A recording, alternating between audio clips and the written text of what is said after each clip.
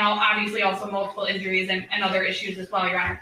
But my position is that this should not be scored at, PRV seven should not be scored at twenty points because it is one act, not multiple acts. And I don't believe that the sentencing guidelines properly um, consider the facts of this case. Again, we've never seen a case like this before, and I don't believe that the sentencing guidelines properly consider the facts of this case, Mr. Crumbley's case, or even Mrs. Crumbley's case, to adequately score PRV seven, and I believe it should be scored at zero.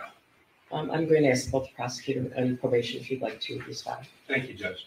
There is zero support for counsel's argument that PRV seven should be scored at zero. The case law is clear, the statute's clear. There were four separate homicide counts. Four children were murdered November thirtieth, two thousand twenty-one. Because of that, each defendant was charged and then convicted of a homicide count, involuntary manslaughter, each with its own elements, So We've argued back and forth about was this homicide or was it not? This is why the court issued the rulings the way the court did regarding the video and other evidence regarding photographs of what happened inside the school. The statute is extremely clear, four separate counts. They don't get to have a scoring of zero as if three children weren't killed, Judge. It is clear what the law is. It has to be scored at twenty points. Um, anything further from probation? No, Judge. Right, well, I have reviewed this uh, thoroughly, the sentencing uh, memos that you uh, have submitted, uh, as well as the pre-sentence investigation, um, the statute and the case law, and I believe uh, PRV seven is scored correctly with regard to both defendants. Your Honor, the next objection um, that Mrs. Crumbley raises is on offense variable nine, which is the number of victims. This analysis is the same as the arguments I just made on prior record variable seven. Um, When the shooter came in and made the decision on the number of victims, it became not a reasonably foreseeable conclusion that he would do what he did. And that is why scoring that at hundred points for multiple deaths, these guidelines don't take into account this very unique situation where a person again charged and convicted and sentenced as an adult made that decision. And it is, it violates due process and all of Mrs. Crumbley's constitutional rights to hold it against her that her son shot multiple people versus just one. So we would ask that that offense variable be scored at zero points. Slayman, do you want to weigh in now, or, I can, Your Honor, and, and that way the prosecution can respond once, Your Honor. all right, go ahead. Um, OV six, again, it scored at ten points. Are we Um, talking about OV six or OV nine? I'm on OV six. Oh, wait, You said OV nine number of victims. I'm sorry. I can do OV nine, Your Honor, if you'd like, and then go back to OV six. I did, I went to OV nine. I can do OV nine, Your Honor. Okay, go ahead. Um, OB nine, similar arguments to PRV seven, Your Honor. Um, it was not Mr. Crumbley who pulled the trigger on the firearm that killed the four students, Your Honor. I, I'm making the same arguments. I don't think that I need to reiterate them, but I believe that it should be scored at zero. Thank you, Judge. Regarding offense variable nine, the jury did find it was reasonably foreseeable. It's jury instruction 1615, 1618, 1610, Judge. Two juries, twenty-four individuals, twenty-four citizens found them guilty and found this act to be reasonably foreseeable. Had they not, they could have been found guilty. That's the law. Now, again, there is no justification for scoring at zero. They are homicide offenses. Each is a separate count. The statute is clear, the case law is clear. We provided supporting information and documentation in our sentencing memorandum. The scoring has to be one hundred points. Anything, Ms. Wheeler, in addition? Judge, thank you.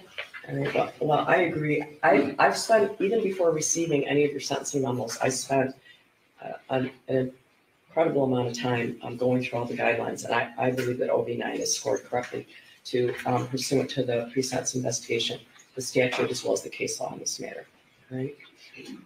Your Honor, Mrs. Crumbley's next objection is to offense variable six, which is the offender's intent to kill or injure another individual.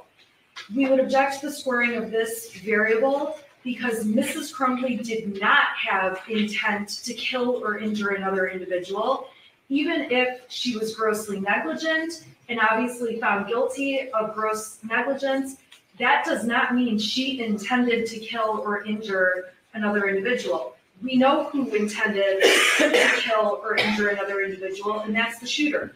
He was held responsible, he was charged, he pled, he was held responsible, and, and we would object to the scoring of OV six. Okay, OV six says, or there was gross negligence amounting to an unreasonable disregard for life, right? Or, I agree with you, but the problem is, is that again, these sentencing guidelines don't take into account another person coming in and making those decisions. So it- that's the problem, and that's what makes all of these guidelines not exactly fit with the circumstances of this case. you know, I, did you guys read, I sent you a case named Albers. Did you read that case? I thought that was interesting. Two fifty-eight Mich App, five seventy-eight. There, I, I, I thought that was telling. There was a, you know, a number of victims in this apartment and someone, a fire, someone was a fire starter, a known fire starter, injured all kinds of people there. And um, I think that had more to do with OV three, but I, I thought that was a, a telling case. Uh, Ms. Ms. Lehman, The difference, Your Honor, in that case though, is that there wasn't somebody who was charged as an adult that intervened and made the choice to hurt everyone in that apartment building. That's the difference in this case, is that Mr. and Mrs. Crumbley did what they did or didn't do, but when their son came in and made decisions, again, it took it out of their hands. And if he had made the decision to do something different with that weapon, we wouldn't be here with that scoring. That's, that's the difference. I don't think, they, they were charged based on what he did with that, that weapon. They were charged on, with everything they did and didn't do up to the time that he used that weapon, right? What he did from the moment he started shooting is, is not really the crux. I agree with you, and that's why the problem is, is that because he got involved, the offenders in this case did not have any intent on their part, and so it just makes it very distinguishable from any other case of involuntary manslaughter. It complicates it enormously, and it really does become an issue of first impression, um, in this case. Ms. Lehman, Yes, Your Honor. Um, for OV six, it's currently scored at ten points. The defense, uh, Mr. Crumbley requested it be scored at zero points. The prosecution asserted two separate theories during trial, um, which were both read to the jury. We don't know which theory the jury relied on. If they all relied on the same theory, if they all relied on different ver- theories, if half of them relied on one and half of them relied on the other. Unfortunately, Your Honor, we don't know the answer to that. So the issue that we have is that there are two theories under which Mr. Crumbley could be convicted during trial. We know that he was convicted because we're here at sentencing. But neither of them takes into account the fact that there was no evidence presented that Mr. Crumbley was aware of what his son was planning. There's, the, the guidelines and specifically OV six doesn't take into account that there was no evidence presented during the trial that Mr. Crumbley was not aware that his son had obtained access to the, to any firearms in the home. And again, for these reasons, it's the intent. I understand that gross negligence is a part of the scoring, Your Honor. However, it's, it's disregard for human life. There was no evidence presented that James Crumbley had disregard for human life, whether it's believed he was grossly negligent or not, Your Honor. There was no evidence presented during trial. Again, notwithstanding the jury's verdict, I understand what the verdict was, Judge. But the guidelines themselves, the scoring, which is what we're doing right now, this is not retrying the case, this is just scoring the guidelines, and the guidelines themselves, Your Honor, do not take into account the specific facts of this case and the evidence that was presented during this case. So for those reasons, Your Honor, I'm asking that OV six be scored at zero on behalf of James Crumbley. prosecution. Thank you, Judge. Um, In Jennifer Crumbley's memo, there was no objection to OV six. We did respond and articulate the reasons why. In James Crumbley's memo, I asked the court to take that argument from our memorandum into consideration regarding Jennifer Crumbley's case as well. First, I'd like to address, the council's repeatedly calling this case of first impression. This is a rare case. It's a unique case, but it's not a case of first impression. The legal duty in Michigan has been around for years, as has involuntary manslaughter and the law surrounding involuntary manslaughter. We actually cited Albers to the Court of Appeals as well as to this court in our response to the defendant's initial motion to quash in early 2022. That case isn't, is on point, as is People v. Cole, which is cited and attached to our sentencing memorandum. The jury instruction is clear, sixteen eighteen and sixteen fifteen, Judge.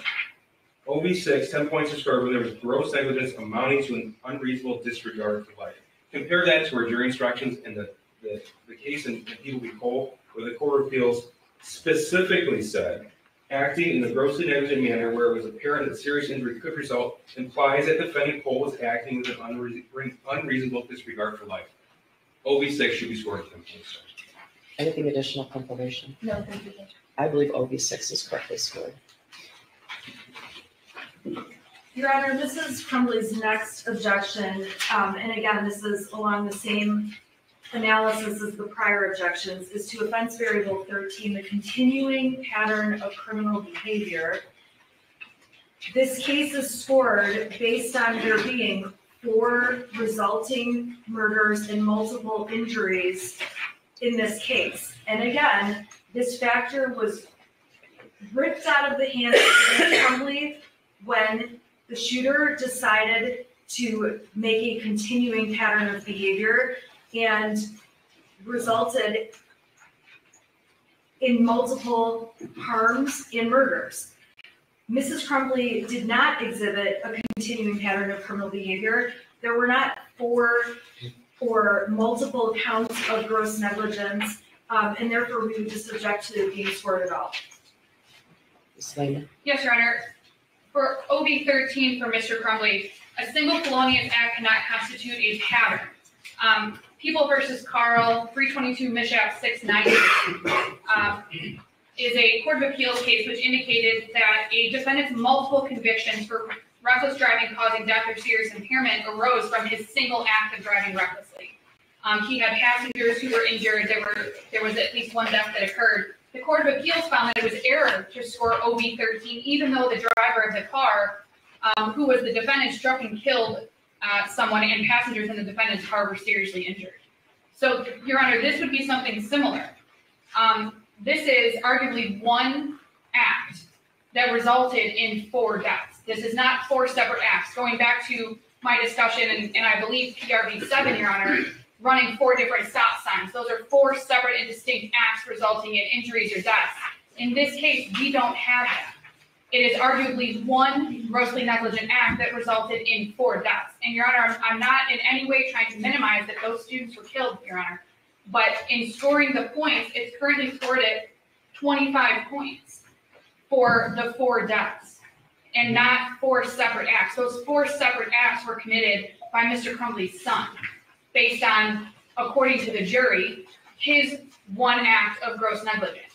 And again, we don't know what act the jury relied on. We don't know if they believe that there were multiple. We don't know, quite frankly, Your Honor. But there aren't four distinct acts, four separate acts of gross negligence that resulted in each of the four deaths of the students.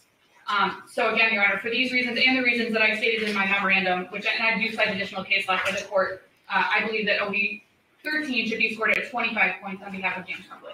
Well, I did read the cra- I'm sorry, zero points, Your Honor. I, I did read the case law in your briefs, but it- there's more, I think there's some more recent case law provided by um, the prosecution in their brief. I don't know if it's Herman or Gibbs. Uh, do you want to respond? Yes, that's great, thank you. First of all, OV thirteen does permit the court to score twenty-five points when the incident occurred on one day.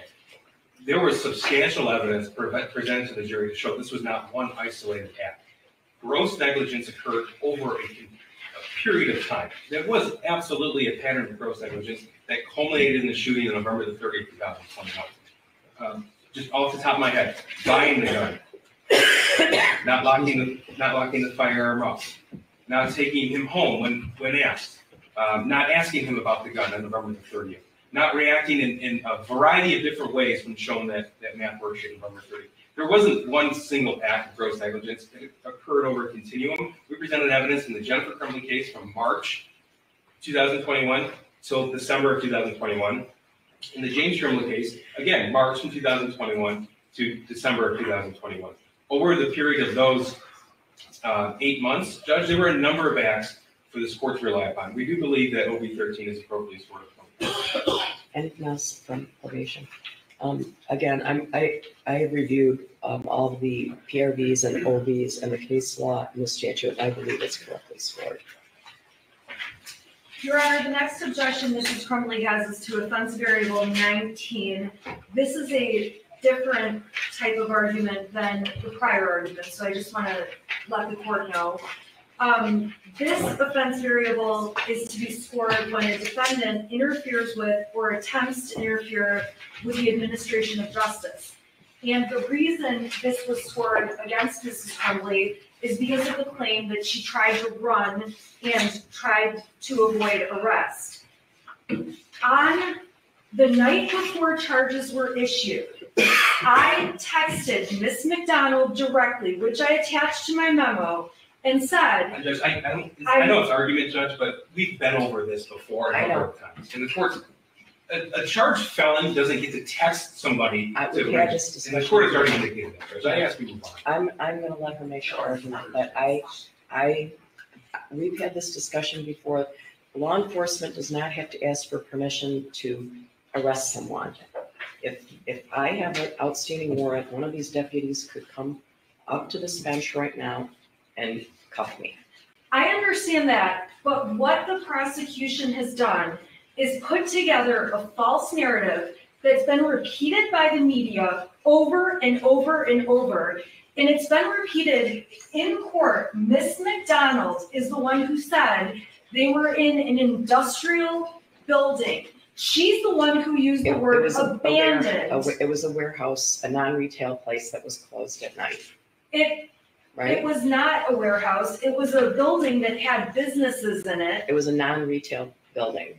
No, there are, there are retail businesses in there, and there are businesses in there that are not retail businesses. Either way, it was not an abandoned warehouse, Okay. okay? And then the prosecution argued and put on the I, I guess it's hard for me to understand why it matters whether it was abandoned or not. okay, because the narrative the media has played over and over and over repeats inaccurate information. I can't control the media, trust me. I, I understand.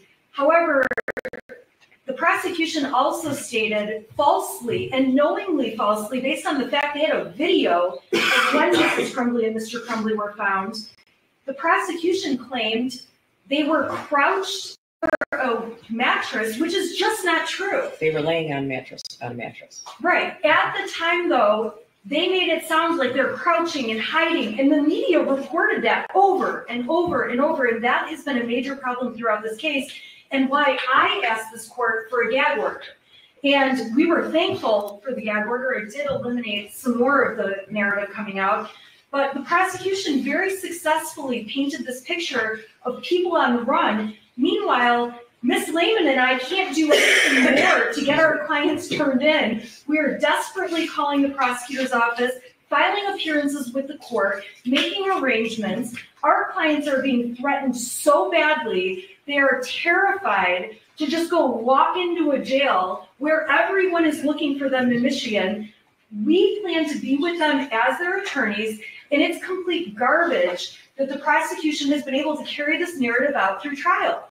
And that's why I did attach my text messages to Ms. McDonald letting her know. All she had to do was say, I am charging. She did not let me know. She does not have to do that. It's a professional courtesy that most prosecutors do. It just is. Not in a case like this. Ms. Evidently. Lehman, Because, well, there's different arguments for each defendant. That's correct, Your Honor. But you're good, Your Honor. okay. So I just want to address this briefly, Judge. First of all, this court may recall the text messages that the court allowed to be admitted in the Jennifer Crumbley case. At eleven sixteen PM. That's correct, Judge. Text message between Shannon Smith and the defendant. Mhm. We're hiding out. We may have been found. And then the response was, oh shit. Object, Judge. I object. That's not what That's it was. admissible That came, evidence. right, but that was not texted by Mrs. Crumbley. Okay, She well, was already asleep. okay, here, here's the problem with that. Because the evidence has shown, um, both of the defendant's sentencing memos address the arrest in Detroit. You've suggested on numerous occasions that the prosecutor was required to make arrangements with one, with one or both of the defendants to turn themselves in. I, I know that in circumstances where someone is charged with a retail fraud, something like that, you might get a common letter. They're not required to do it. Do, we- do we all, all want things to happen the nice way? Sure, but it's, it's, it's not true. Law enforcement is not required to ask permission to arrest people. The fact of the matter is the charges were announced at noon. They knew about the charges. You knew about the charges, right? Not until after the press conference, At noon. and then we were Okay. trying to It's make my dime. arrangements. It's my dime. Sorry, They do not have to make arrangements with you. I know that's the nice way, that's the safe way. The, sh- the fugitive apprehension team was in contact with you. The defendants were aware and did not turn themselves in. They went to a non-retail establishment in Detroit and hunkered down. It's unclear to this court, to this day, whether they intended to flee the state. But the fact remains that they brought the cir- circus to the city of Detroit. They did. There was, there's also been testimony by Mrs. Crumbley and an allegation by Mr. Crumbley in the sentencing memo that the defendants were not avoiding detection in that building. That allegation flies in the face of the testimony at each of the trials. We had testimony from Luke Kirkley. He testified that he made eye contact with Mr. Crumbley in the parking lot. He went back into the building.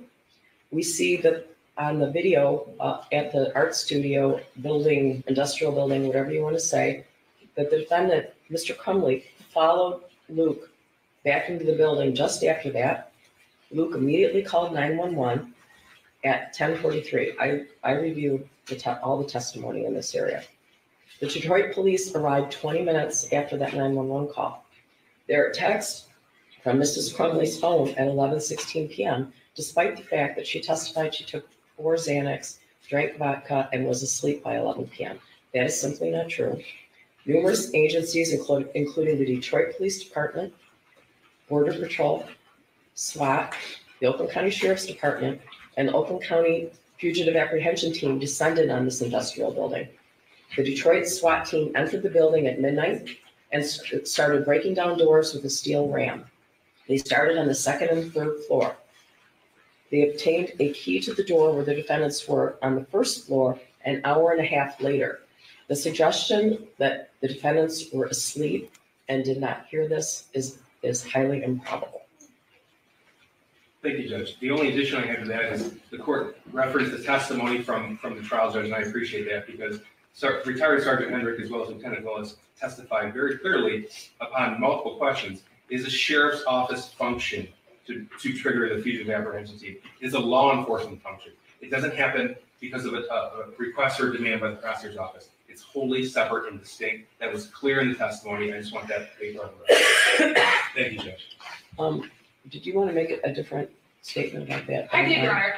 Mhm. Um, and it's because I, I don't believe that Mr. Crumbley was assessed fifteen points for OV nineteen for the same reason as Mrs. Crumbley was. Um, Mr. Crumbley was assessed fifteen points, um, for, it says in the guidelines, the offender used the force or the threat of force against another person or the property of another person to interfere with, attempt to interfere with, or that results in the interference with the administration of justice or the rendering of emergency services. Your Honor, it, I read that scoring to be scored because of the claims made by Ms. McDonald's office that Mr. Crumbley has made threats and threats of physical harm to Ms. McDonald um, over the phone Yes, at the jail. Um, Your Honor, I'm disputing, and I have disputed, I did it during the trial when this was originally raised, and I've done it since then, that, that Mr. Crumbley has ever made a physical threat against Prosecutor McDonald. He has vented, he has been angry, he has been angry for the reasons that I cited in my sentencing memorandum, but he has never threatened to physically harm Ms. McDonald. He has never said that if you continue with this prosecution, I'm going to hurt you. He has never said, if you don't stop this right now, I'm coming after you. Instead, as I indicated in my sentencing memorandum, the statements made by Mr. Crumbley, although there has been some language that may not be very respectful, that may be angry out of frustration for being incarcerated and on lockdown for 23 hours a day for the last two and a half years, for something that Mr. Crumbley and I maintain that he did not do illegally or wrong. But he, he vented his frustrations, Your Honor, and he never threatened harm. He never said if Ms. McDonald continues, that he's going to do something, or Mr. Keast, or Mr. Williams, or anyone else at the prosecutor's office or law enforcement. So he scores 15 points, presumably based on these claims of threatened physical harm against Ms. McDonald, which we dispute ever happened. Um, Mr. Crumbley and I indi- maintain that OV 19 should be scored at zero. Um, again, we also dispute if he was ever fleeing, so even if the prosecution wanted to change their theory to the flight, we would dispute that he was even fleeing, although I understand what the court just indicated, what Mr. Keast has indicated previously. So for the purposes of scoring OV nineteen should be scored at zero. There have been no threats of physical harm, there have been no interference with the administration of justice. Um, there, there is a, a thumb drive of the threats. We could play them, or Mr. Keast could read them into the record. I don't know to what extent the prosecution would like to address. I- I do, I, I hope not to, Judge, but I do need a response to the argument. I'm, I'm not gonna read all of them, they're on page four of our sentencing memorandum. And, we did attach them as the court indicated, so I know the court has listened. Mhm. OV nineteen should be scored at fifty points if the offender used force or the threat of force against a person to interfere with or attempt to interfere with the in- administration of justice. I don't know any other purpose for what James Crumbley did other than to interfere with the administration of justice. He knew specifically that his jail calls were recorded. He knew, or at least he believed, that the elected official, Ms. McDonald, was listening because he sent message specific to her. He did it not just in an abstract sense, Judge. He did it while she was actively prosecuting the case. I have had a number of instances where defendants threatened witnesses. Rarely do we see a defendant threatening the prosecutor, let alone a member of a trial team, let alone the elected official. There will be retribution. She's going to be fucking sucking on a fucking hot rock down in hell soon. I'm on a fucking ramp. I'm on, I'm fucking on a rampage, Karen. Yes, Karen McDonald, your ass is going down and you better be fucking scared. I didn't want to read that, Judge. That was just a few weeks before the trial. I don't know any other definition what that could be other than a specific threat made to a member of the trial team. We ask that this defendant be treated no differently than any other defendant who would make a similar statement to any prosecutor or defense attorney or judge in this building. OV nineteen is certainly scored at fifteen points. Um, I believe that it's correctly scored with regard to Mrs. Crumbley and Mr. Crumbley based, um, on their avoidance, avoiding, uh, law enforcement while at the art studio, industrial building, whatever you want to call it, um, on that evening, uh, for a long period of time. Um, but in the alternative, um, there, there's alternative theories, uh, for scoring OV nineteen as, reg- uh, with regard to Mr. Crumbley. I, you know, regardless of his ability to make good on those threats because of his incarceration, I still uh, do believe that those uh, were, were threats against the prosecutor. Thank you.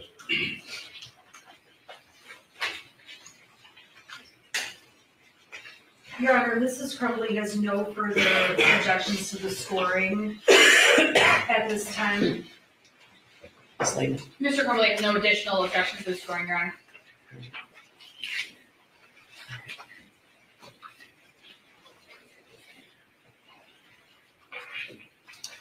um, I have a number of written um, statements that were provided by various individuals. I'm, I'm going to read the names of the people. Um, Could you tell me the pronunciation of Madisyn Baldwin's mother's name, Nicole Beausoleil? Yeah. Beausoleil. Um, um, and the mother of Hana, Miss, Ms. Saint Juliana, is it I?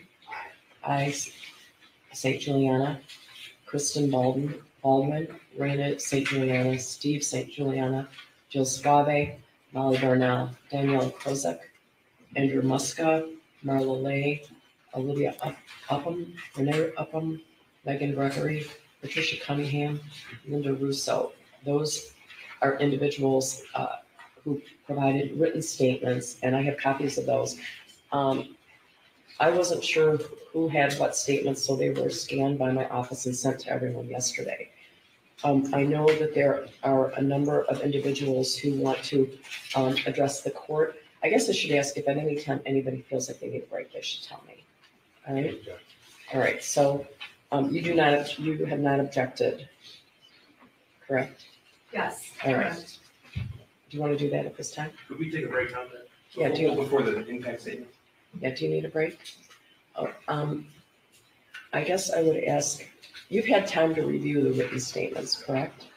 Your Honor, we did get them late last night. I'm gonna read over them during this brief break again. I have read over them once, but I'm gonna read again just to ensure that there are no objections. Yeah, I didn't, I, I didn't have reason to believe that you didn't have copies of them, but, um, they weren't necessarily funneled to the probation department. Some of them were sent directly to us. We, I've gotten letters from people from across the country that were very interesting, so. Your Honor, may I, may I say one thing uh, regarding the victim impact statements?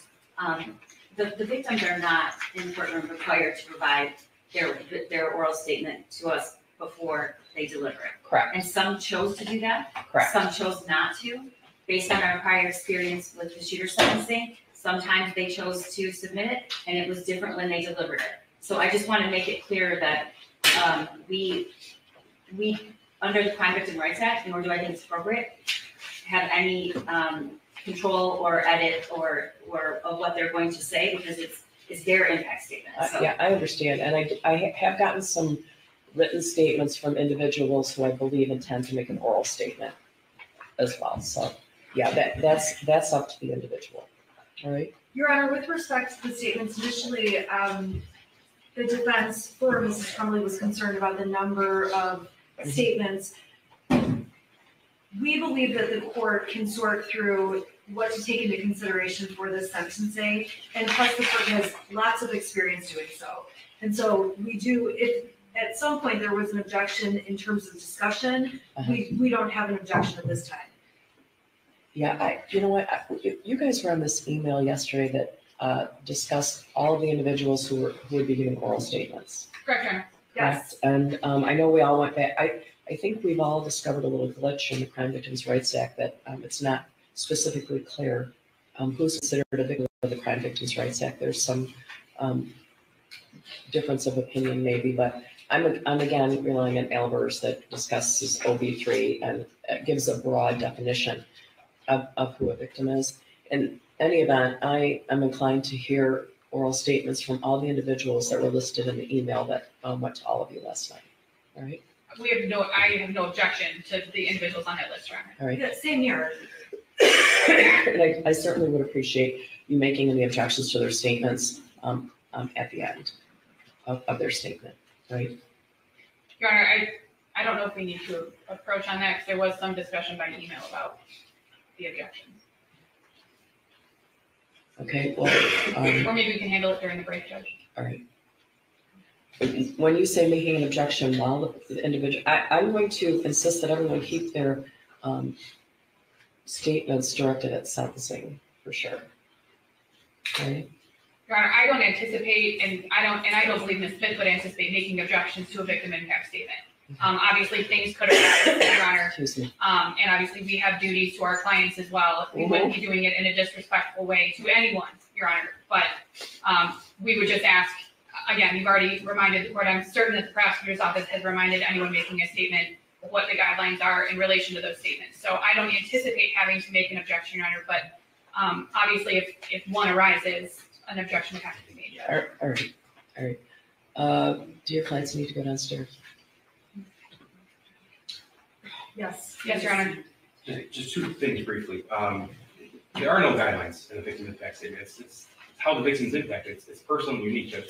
Sure. You know, obviously the court knows that. I just wanted to make sure we were clear on that. They have to be directed at statements. yeah. In, in one, um, housekeeping matter, we just need to, to add in, we can stipulate, with the defense will stipulate, we add in the additional victim impact statements received last night, as well as James Crumbley's GED verification, um, just for the, for the PSI. Oh, I didn't ask you if you had any additions to the PSI That's all. today. I'm sorry. Okay, his, his GED and what else did you say? His GED verification and the additional victim impact statements that weren't received by the department. Yeah, I think we got some at about six o'clock last night, right? Right. So, yeah. If, if you're not in receipt of something, you should let me know. It, it, it was hard to determine at what, at one time who was receiving what, so. If, maybe we can discuss with the prosecution who we should have impact statements from and determine whether or not we are missing any impact statements, the written impact statements, because we did receive some later last night, I don't know if Yeah, we sent those last night. I received what the court sent and Mhm. what's in the PSIR. correct. That's what I've received. I don't think there's anything else We received one this morning. from Mr. Shilling, Yes, sir. but I believe Mr. Shilling is going to make an oral statement, Correct. is that correct? So sir. I wasn't concerned about that. Thank you. I was, I was referring to the written letters received by the court. Which, uh, those are, that's what we got last night. correct, Your Okay, Everything in my possession was sent. Thank you very much for clarifying, Judge. All right, so, um, um, both of the defendants are gonna go downstairs, so I want everyone to remain seated during that, all right? Thank you.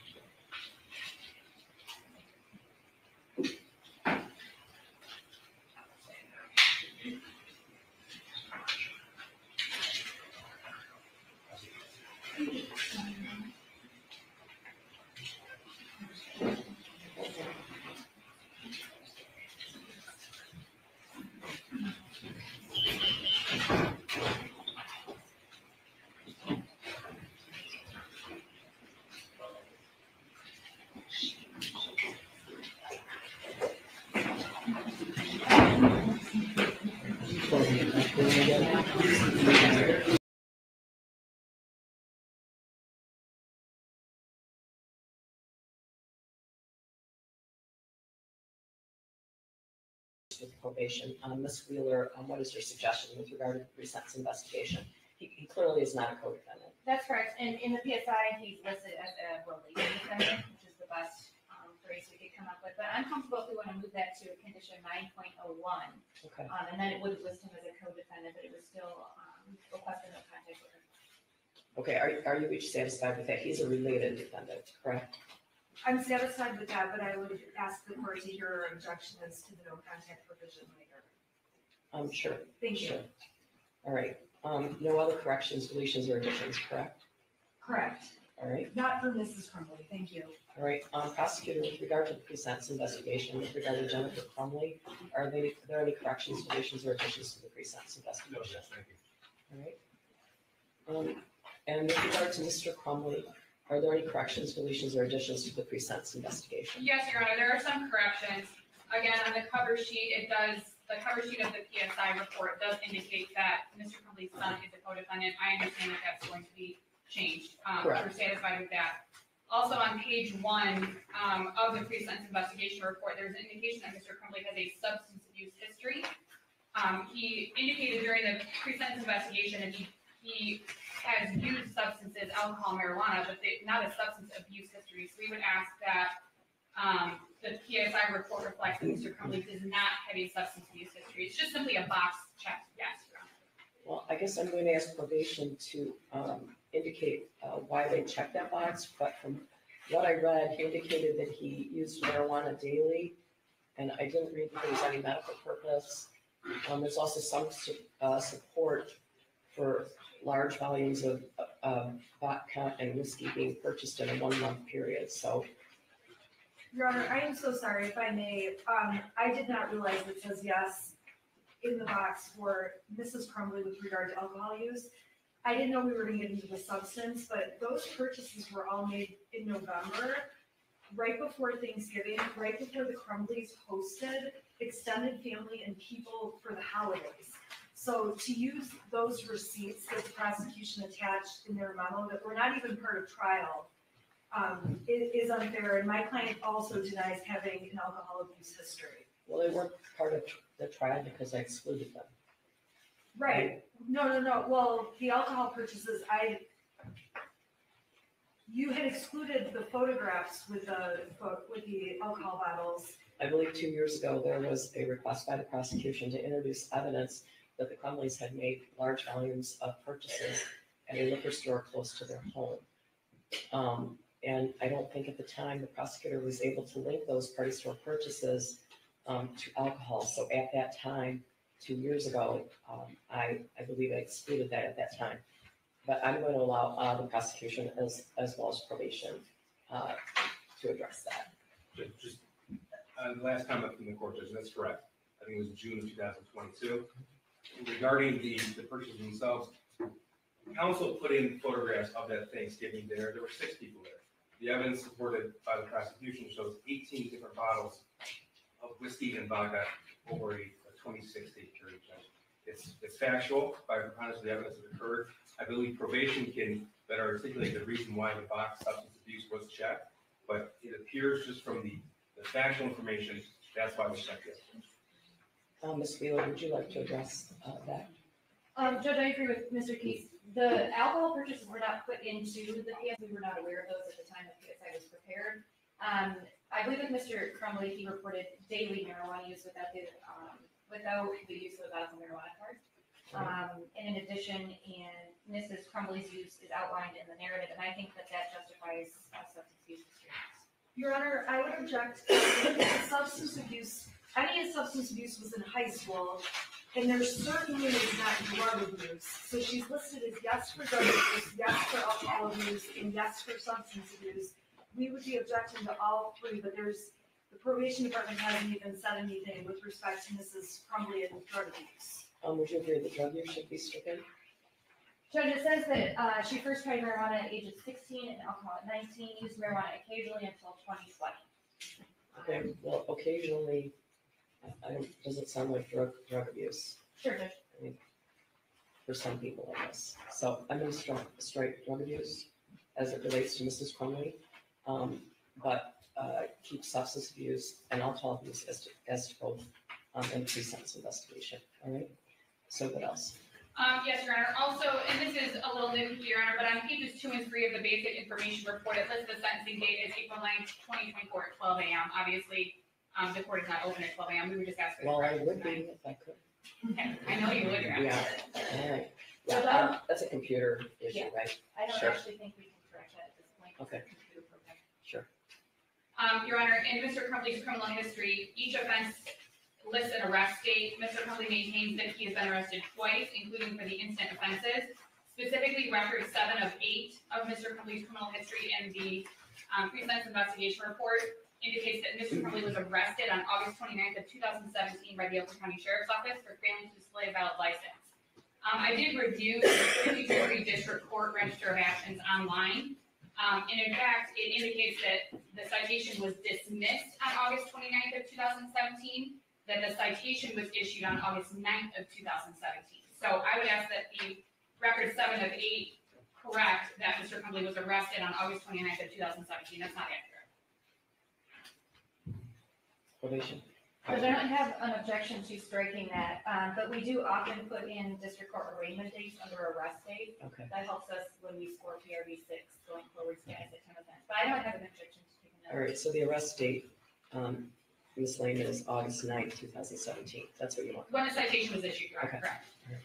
Um, as it relates to substance use, Your Honor, and I, I should have said this a few minutes ago, in the PSI reported indicates that Mr. Crumbley was using alcohol and marijuana from nineteen ninety-seven to two thousand twenty-one, but that's not accurate. Um, during the pre-sentence interview, Mr. Crumbley was asked when he first used alcohol and marijuana, and he Okay. indicated it was nineteen ninety-seven. So I would just ask for a correction, that it wasn't used that whole time, um, that it was a first use, and that it was, um, and then Mr. Crumbley, uh, first used marijuana at twenty-one, then not again until it became legal in Michigan. I believe is what the indication was during the pre-sentence Wheeler, I believe he told you he, he was experiencing daily use at the time of the offense. That's correct, correct, until the fall of twenty twenty-one. It's a bit hard to explain that in the chart because it only asks for a start date and end date, but I can try to explain that a little better in the narrative. All right, I appreciate We that. would appreciate that, thank you, Your Honor. And the last one, on pages thirty-three and thirty-four, um, there were statements alleged to have been made by Mr. Crumbley to a therapist on March eighteenth of two thousand twenty-four. I did speak with Mr. Crumbley regarding those alleged statements that were included in the pre-sentence investigation report, and he denies making the statements that he was experiencing sadness, depression, anxiety attacks, or any of the symptoms listed in the report. Um, the interview was conducted by video, Your Honor, it was a, a video call, so there was significant difficulty in communicating, but I would ask that those statements be stricken as Mr. Crumbley indicates that they were not said. I have no further questions at the time. Ms. Wheeler, any comment on that? They are in the mental health records. I could put in a statement that um, Mr. Connolly disputes this in the narrative and then explain that there were some communication during the video visit. Are you satisfied with it? I'm sorry, Your Honor. Are you satisfied with Ms. Wheeler's question? I, I didn't hear the whole. Sorry, I was probably a question. probably because I was coughing. Go ahead. Um, they are in the mental health records, but I could put a statement in there that Mr. Crumbley disputes this at the time of sentencing and visit. That would be great, thank you. Prosecutor, any comment? All right, so there are no other corrections, deletions, or additions, is that correct? Correct, Your Honor, there are a number of objections, I believe, uh, Ms. Smith also has some, but corrections, additions, deletions, that's it. All right. Um, I want to um, point out that each defendant has a right to and will receive an individualized sentencing in this matter. Um, I want to confirm, because the victims um, impacted are the same, the court felt it would be uh, in the best interest of the victims, the defendants, and also judicially efficient to hear all the victim impact statements at the same time. Um, I want to be sure that neither defendant has any objection to that. No, Your Honor, that's fine, thank you. No objection, Your Honor. All right. Um, what else about the pre-sentence investigation? Would you like to go first, Your Honor? Um, would you like to go first? Sure. Um, Your Honor, we would object to the narrative summary as written by probation and also the agent's description of offense. It's very obvious that probation did not sit through trial and hear all of the evidence that came out at trial. For sure. There is a number of mistakes and it is so biased that I just would, I would just make sure that, ask the court to, ask them to, um, there's so many mistakes. I mean, I could be on the record for ten minutes going on with that, but the narrative is just not accurate. So I would ask the court to keep that in mind and make a note of that. Is the information gleaned from the police report? That's how a pre-sentence investigation is normally done. I don't think anyone here, to my knowledge, has a copy of the transcript of either trial. My understanding is ordering that is about thirty-five thousand dollars, right? Yeah. I don't think anyone, the probation, of course, is not seeing a trial transcript and in any sentencing, they haven't seen a trial transcript. I do agree with you that the agent's description of offense is from the police reports and mm-hmm. documents along those lines. However, the narrative summary of what was proven at trial, identifying five things against Mrs. Crumbley is simply inaccurate. That, those five things are pointed out in my memo. I explain each of those. If the court does not need me to make a record, I won't, but if the court does. Well, that, that's up to you. I, it's in the That's record in terms of the sentencing memo. Okay, I'll, I'll just give like one example. They're saying that as the fifth reason, um, she should be considered to have committed illegal acts is because she was, let me get the right words.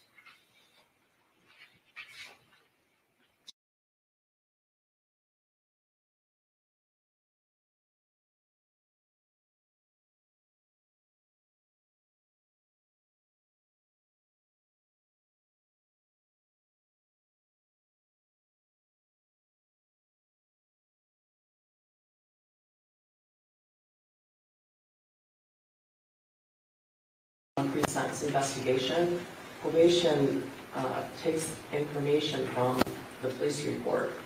Like Ms. Wheeler didn't make it up herself, and she of course did not have the benefit of the trial transcript either. Also, the trial transcript does not um, include all of the information ever uh, by necessity of the rules of evidence, right? I understand. The only reason I bring it to the court's attention and make the objection is because this is a document that will follow Mrs. Crumbley, and it's important that it's accurate. That's, so I just want to make the objections for the record. All right.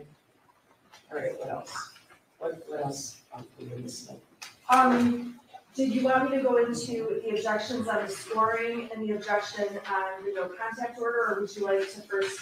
I believe that sister has a similar argument regarding the narrative summary and agent's description in her PSI as well, as well. Would you like to address that before the sentencing guidelines or?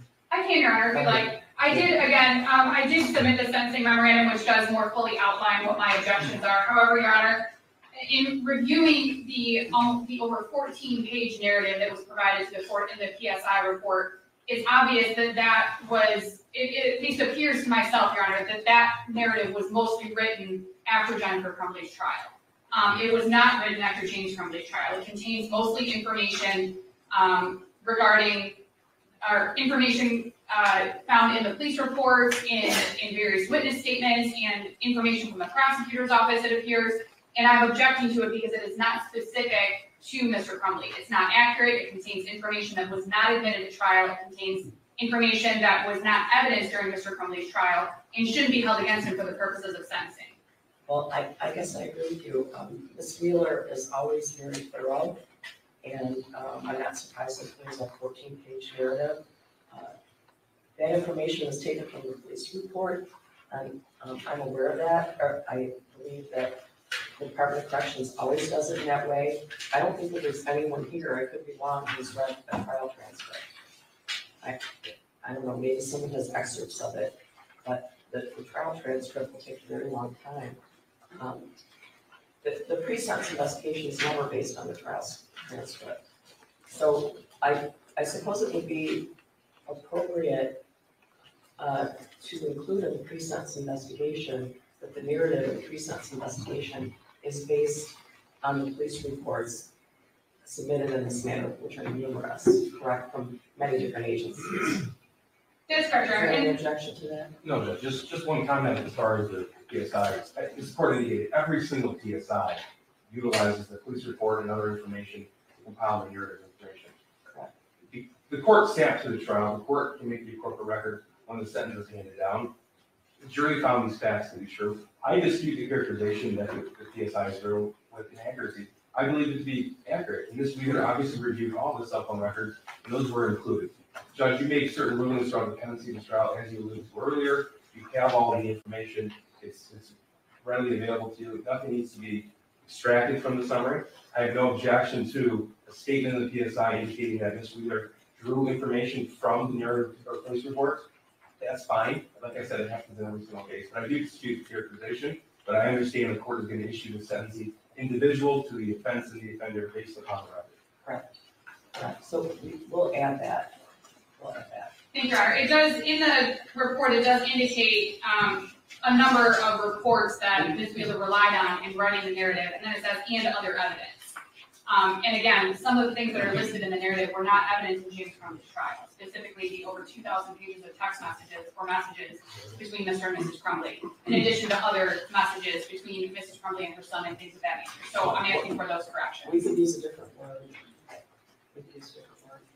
And Judge, again, as the court has stated, it's the same police reports that are used for each. Um, and I do believe it's very clear in the PSI that they are conversations between Mrs. Crumbley and someone else. It certainly doesn't say Miss Welcome.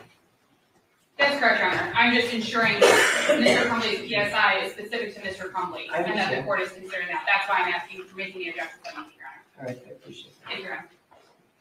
Okay, what else? Any, anything else about, uh, recess investigation? Um, besides the sentencing guidelines, right? Aside from the sentencing guidelines, the other objection relates to the no contact provision proposed between Mrs. Crumbley and Mr. Crumbley. And I'm arguing on behalf of Mrs. Crumbley, obviously, and between Mrs. Crumbley and Ethan Crumbley.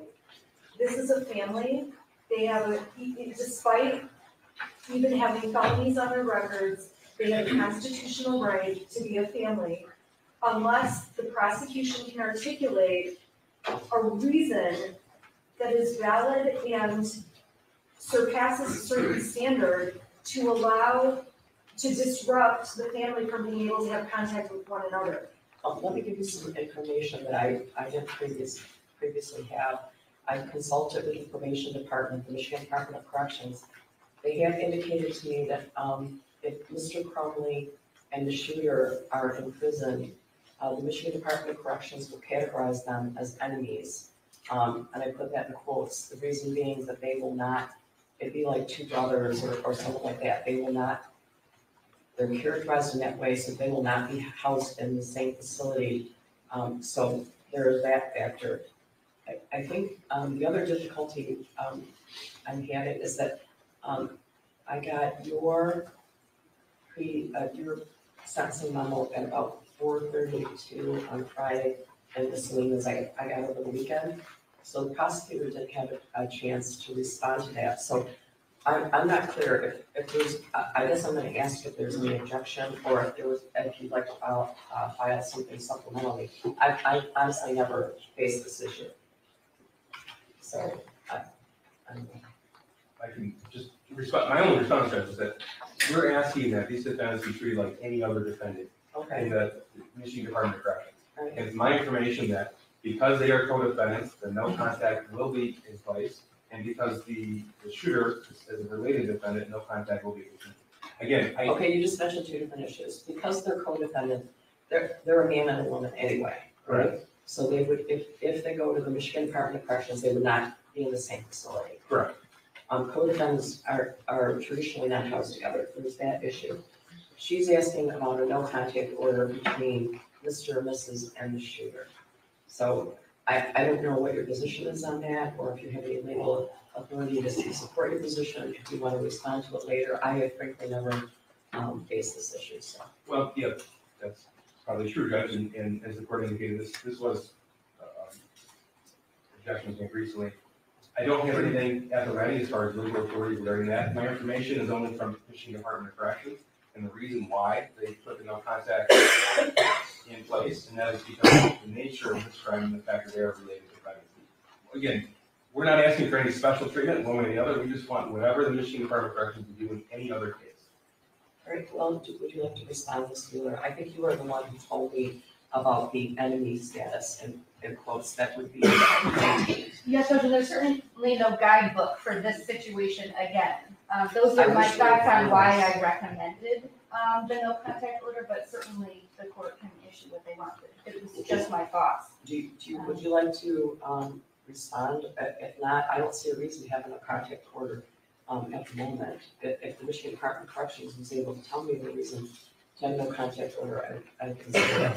I know you haven't had a chance to respond, but I, at the moment, I can't think of a reason for a no contact order. If, if they're, if the three of them are all in the Michigan Department of Corrections, it would then be up to the Michigan Department of Corrections, but should I be ordering that right now, is what I'm asking, is there legal authority for me to do it?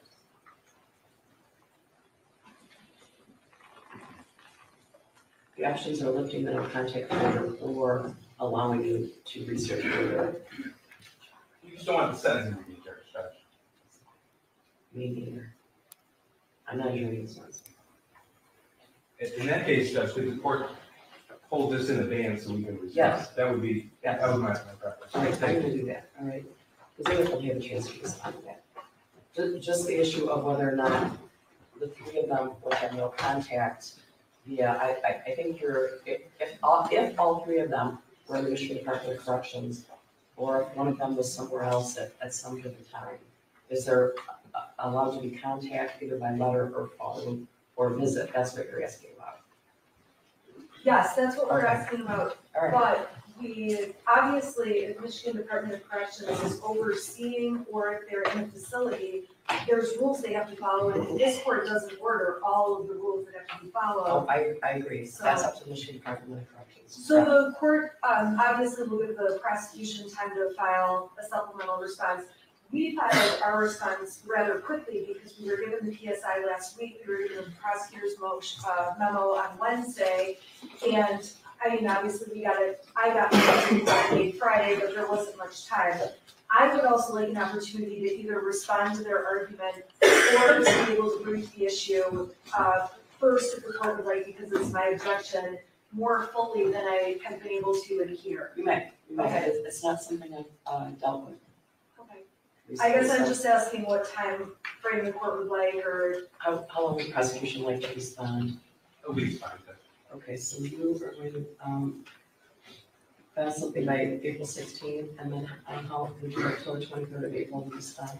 that would be great, thank you. I mean, they, they might do some research and find out there's no, there's no basis for it, I, I, I don't know. And Judge, I will look further into that and also provide the information. All right, thank you, Judge, I'll communicate with the court, defense counsel.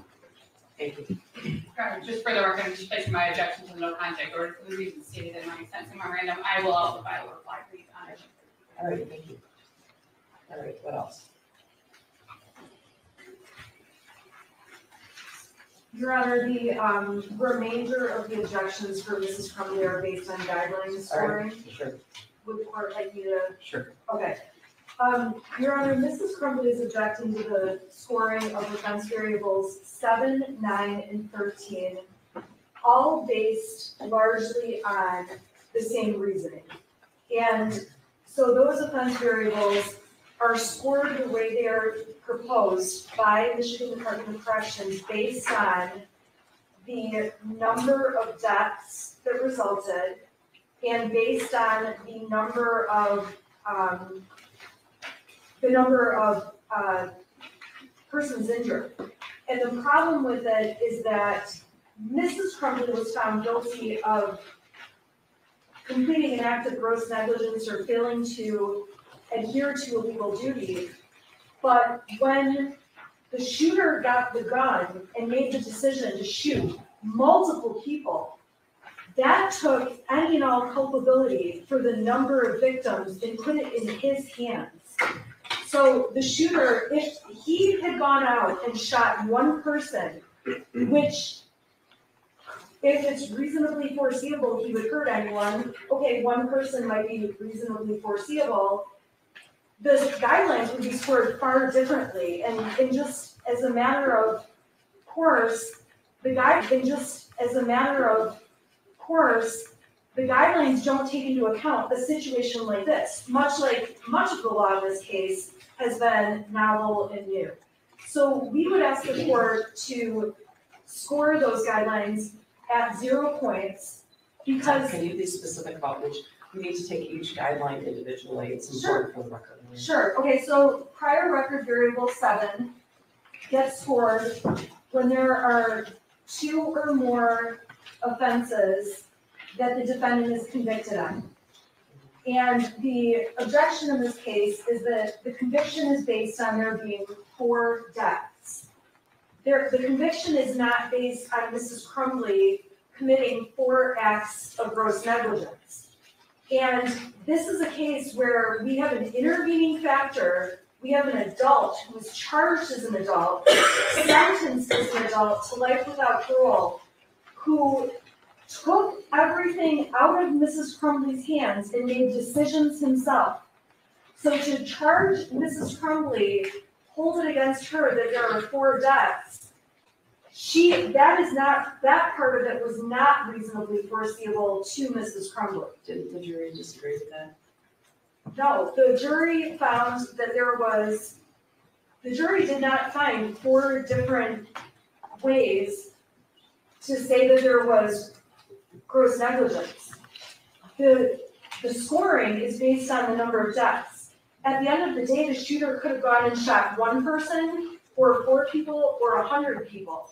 The problem is, is that even if it's foreseeable that something was going to happen, when the shooter intervened and made the decision what he was going to do as an adult that was convicted and held accountable for each of those four deaths and everyone injured, it came out of control from Mrs. Crumbley. So we object to the scoring that she committed um, four offenses. I, I agree with you, the jury entered four convictions, but the the basis of it was four deaths.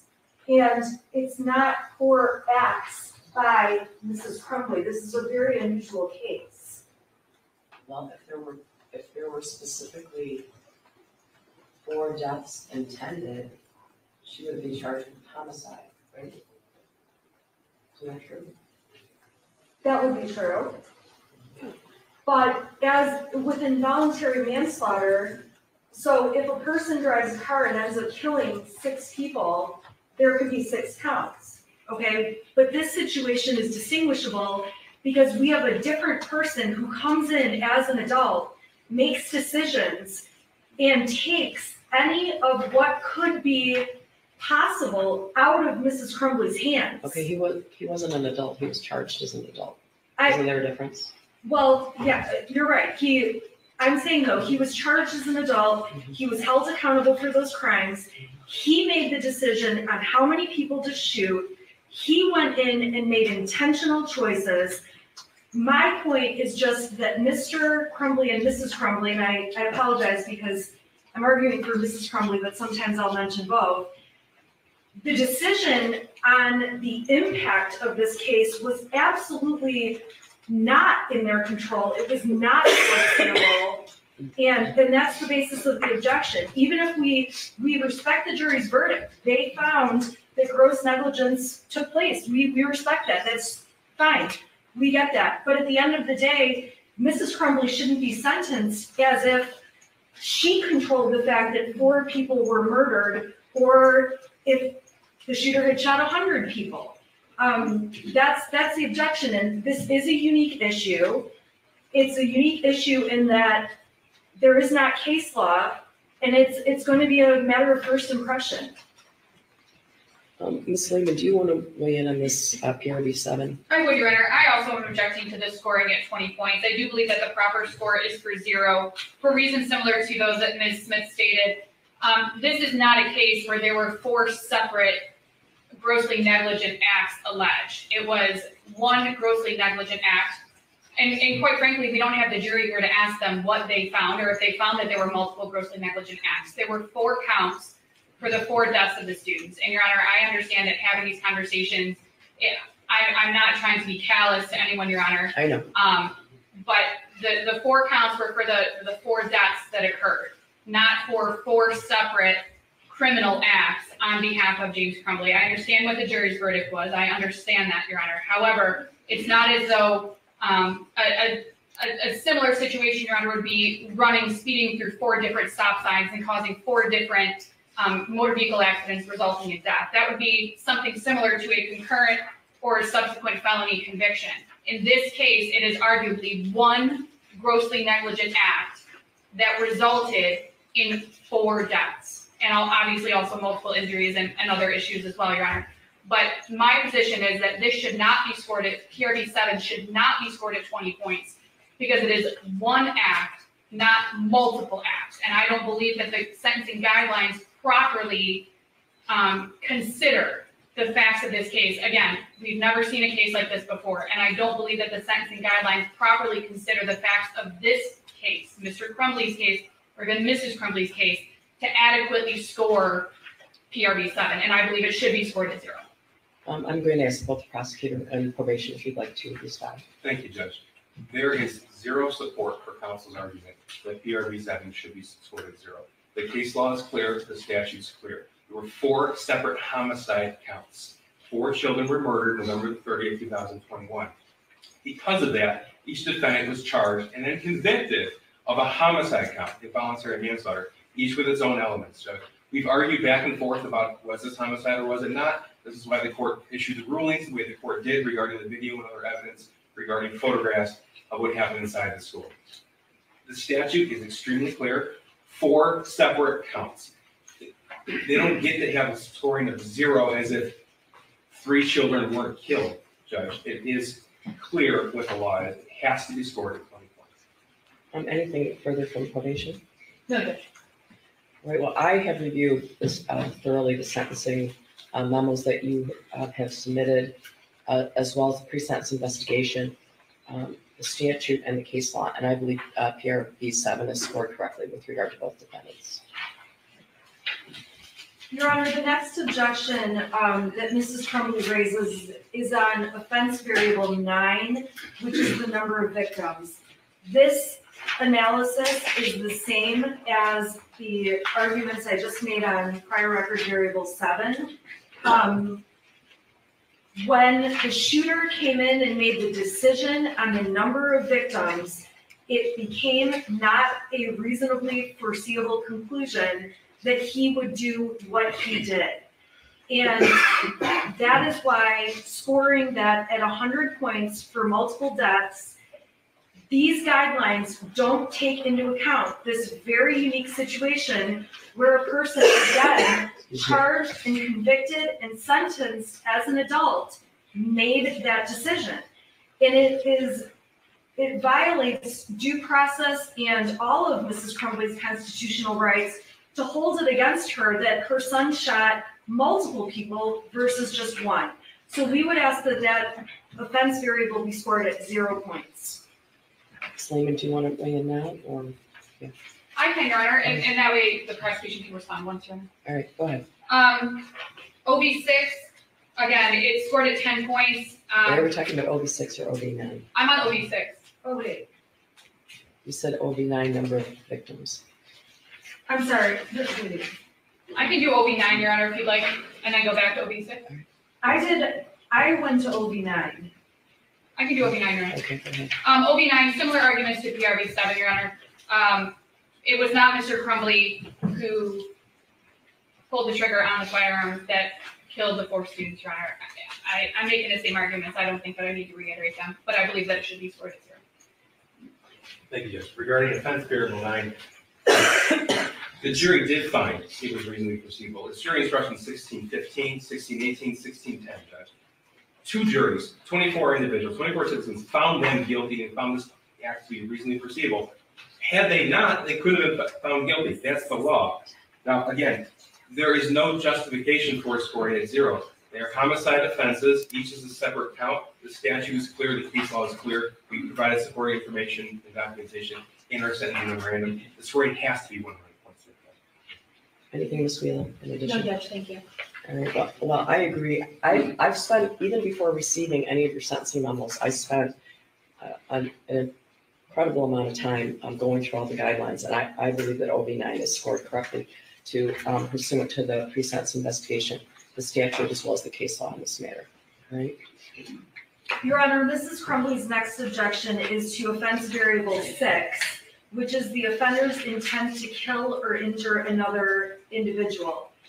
We would object to the squaring of this variable because Mrs. Crumbley did not have intent to kill or injure another individual, even if she was grossly negligent and obviously found guilty of gross negligence. That does not mean she intended to kill or injure another individual. We know who intended to kill or injure another individual, and that's the shooter.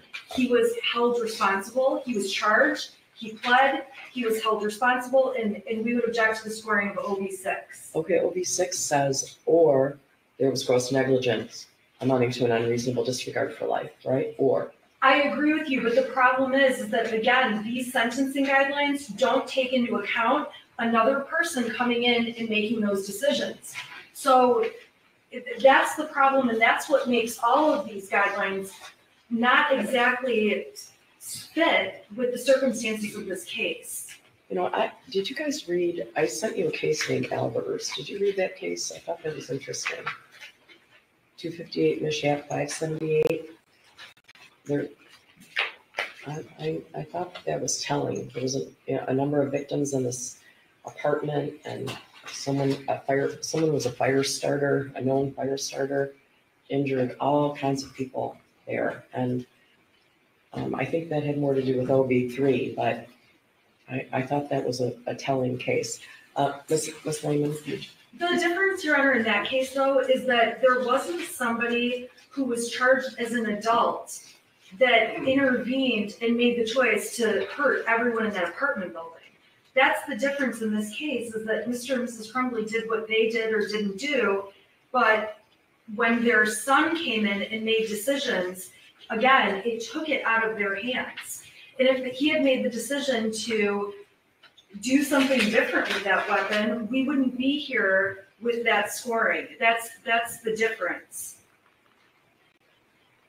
I don't think they, they were charged based on what he did with that, that weapon. They were charged on, with everything they did and didn't do up to the time that he used that weapon, right? What he did from the moment he started shooting is, is not really the crux. I agree with you, and that's why the problem is, is that because he got involved, the offenders in this case did not have any intent on their part, and so it just makes it very distinguishable from any other case of involuntary manslaughter. It complicates it enormously, and it really does become an issue of first impression, um, in this case. Ms. Lehman, Yes, Your Honor. Um, for OV six, it's currently scored at ten points. The defense, uh, Mr. Crumbley requested it be scored at zero points.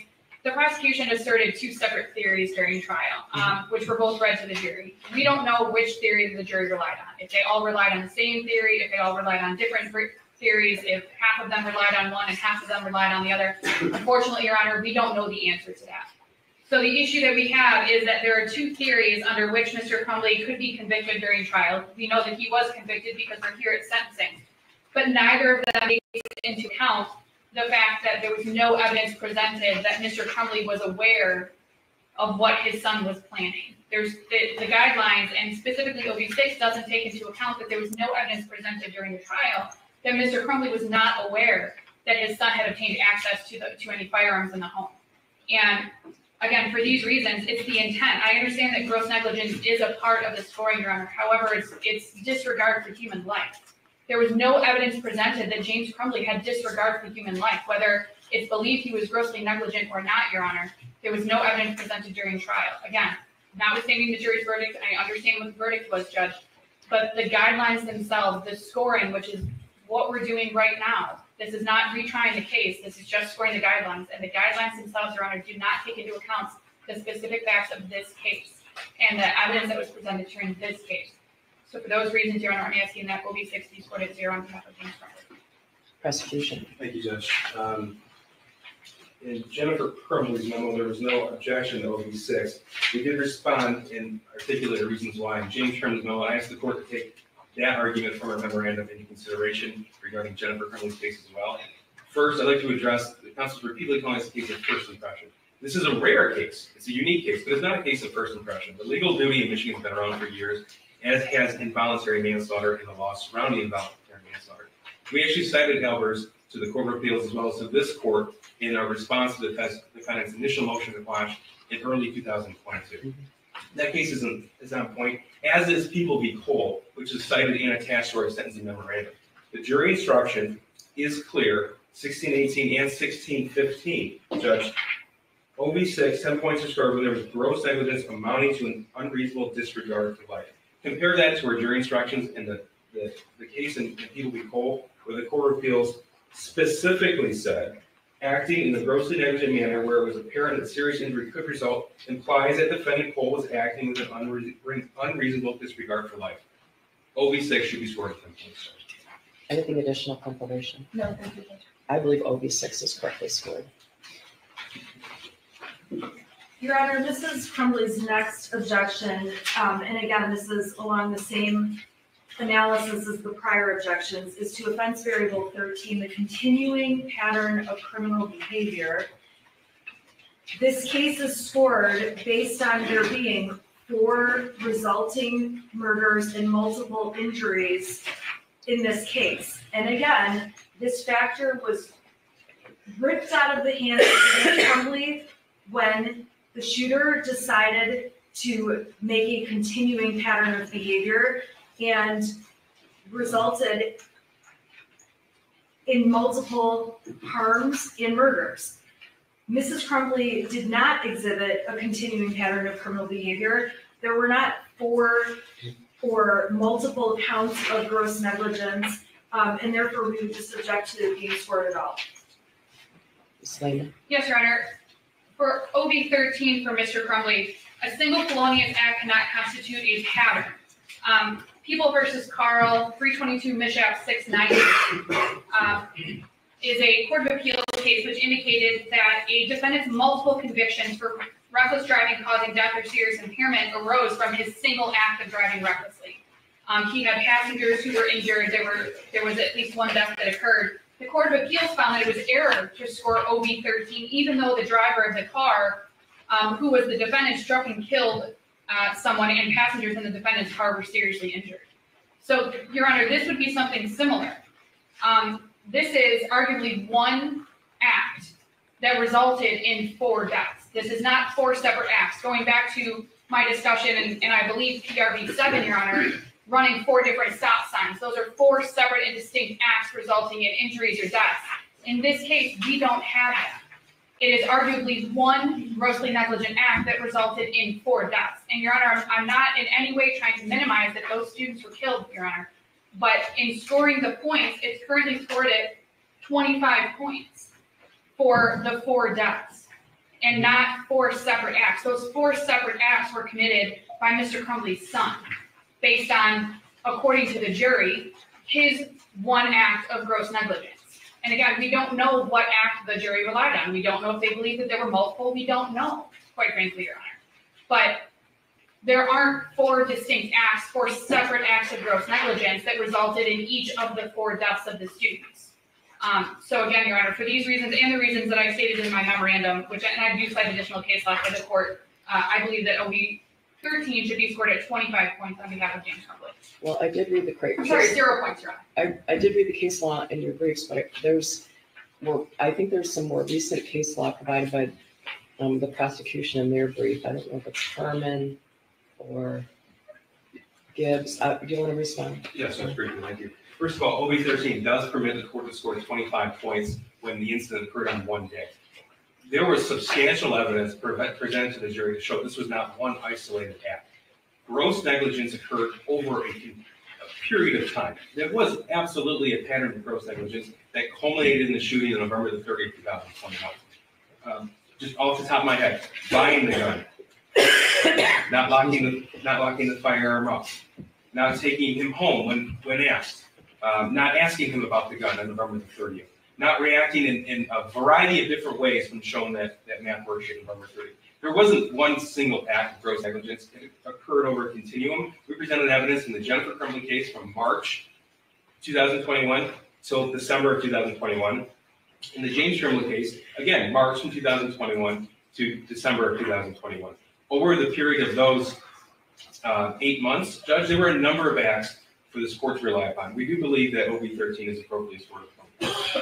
Anything else from probation? Um, again, I'm, I, I have reviewed, um, all the PRVs and OVs and the case law and the statute. I believe it's correctly scored. Your Honor, the next objection Mrs. Crumbley has is to offense variable nineteen. This is a different type of argument than the prior argument, so I just want to let the court know. Um, this offense variable is to be scored when a defendant interferes with or attempts to interfere with the administration of justice. And the reason this was scored against Mrs. Crumbley is because of the claim that she tried to run and tried to avoid arrest. On the night before charges were issued, I texted Miss McDonald directly, which I attached to my memo, and said, And Judge, I, I don't, I know it's argument, Judge, but we've been over this before I a number of times. And the court's, a, a charged felon doesn't get to text somebody I, to, we had this and the court has discussion. already indicated that, Judge. I ask you to move on. I'm, I'm gonna let her make her argument but I, I, we've had this discussion before. Law enforcement does not have to ask for permission to arrest someone. If, if I have an outstanding warrant, one of these deputies could come up to this bench right now and cuff me. I understand that, but what the prosecution has done is put together a false narrative that's been repeated by the media over and over and over. And it's been repeated in court. Miss McDonald is the one who said they were in an industrial building. She's the one who used It- the it word was a- a abandoned. a It was a warehouse, a non-retail place that was closed at night, It, it right? was not a warehouse. It was a building that had businesses in it. It was a non-retail building. No, there are, there are retail businesses in there, and there are businesses in there that are not retail businesses. Either way, it was not an abandoned warehouse. Okay. Okay, and then the prosecution argued and put on the I, I guess record, it's hard for me to understand why it matters whether it was abandoned or not. okay, because the narrative the media has played over and over and over repeats inaccurate information. I can't control the media, trust me. I, I understand. However, the prosecution also stated falsely and knowingly falsely, based on the fact they had a video of when Mrs. Crumbley and Mr. Crumbley were found. The prosecution claimed they were crouched a mattress, which is just not true. They were laying on mattress, on a mattress. Right. At the time, though, they made it sound like they're crouching and hiding, and the media reported that over and over and over, and that has been a major problem throughout this case, and why I asked this court a top honor student He was kind and inclusive to all.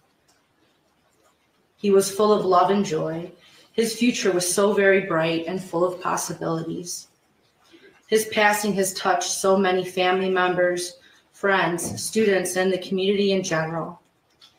The ripple effects of both James and Jennifer's failures to act have devastated us all. This tragedy was completely preventable. If only they had done something, Your Honor, anything, to shift the course of events on November 30th, then our four angels would be here today, and Justin would be getting ready to celebrate celebrate his 20th birthday on the 18th of this month. If only, Your Honor, they had taken their son to get counseling instead of buying him a gun. If only they had secured that gun. If only they had spoken up that day in the counseling office. If only they had checked his backpack. If only they had taken him home or taking him to counseling instead of abandoning him at that school. I wouldn't be standing here today.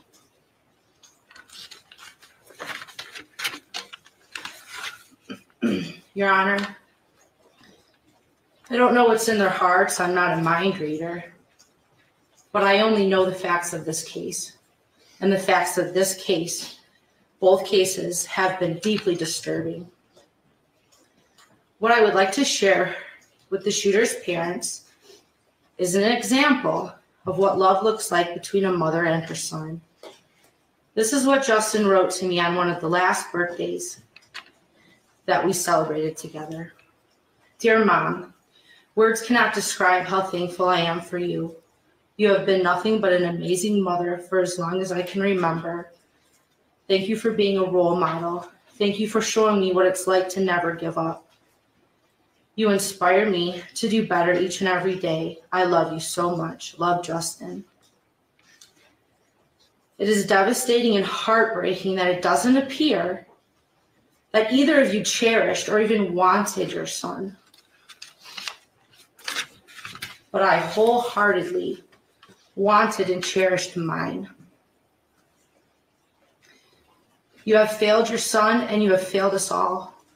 This failure had deadly consequences that can never be undone, that can never be made right. I am asking, Your Honor, for the maximum sentence allowed. Thank you. Thank you for being here.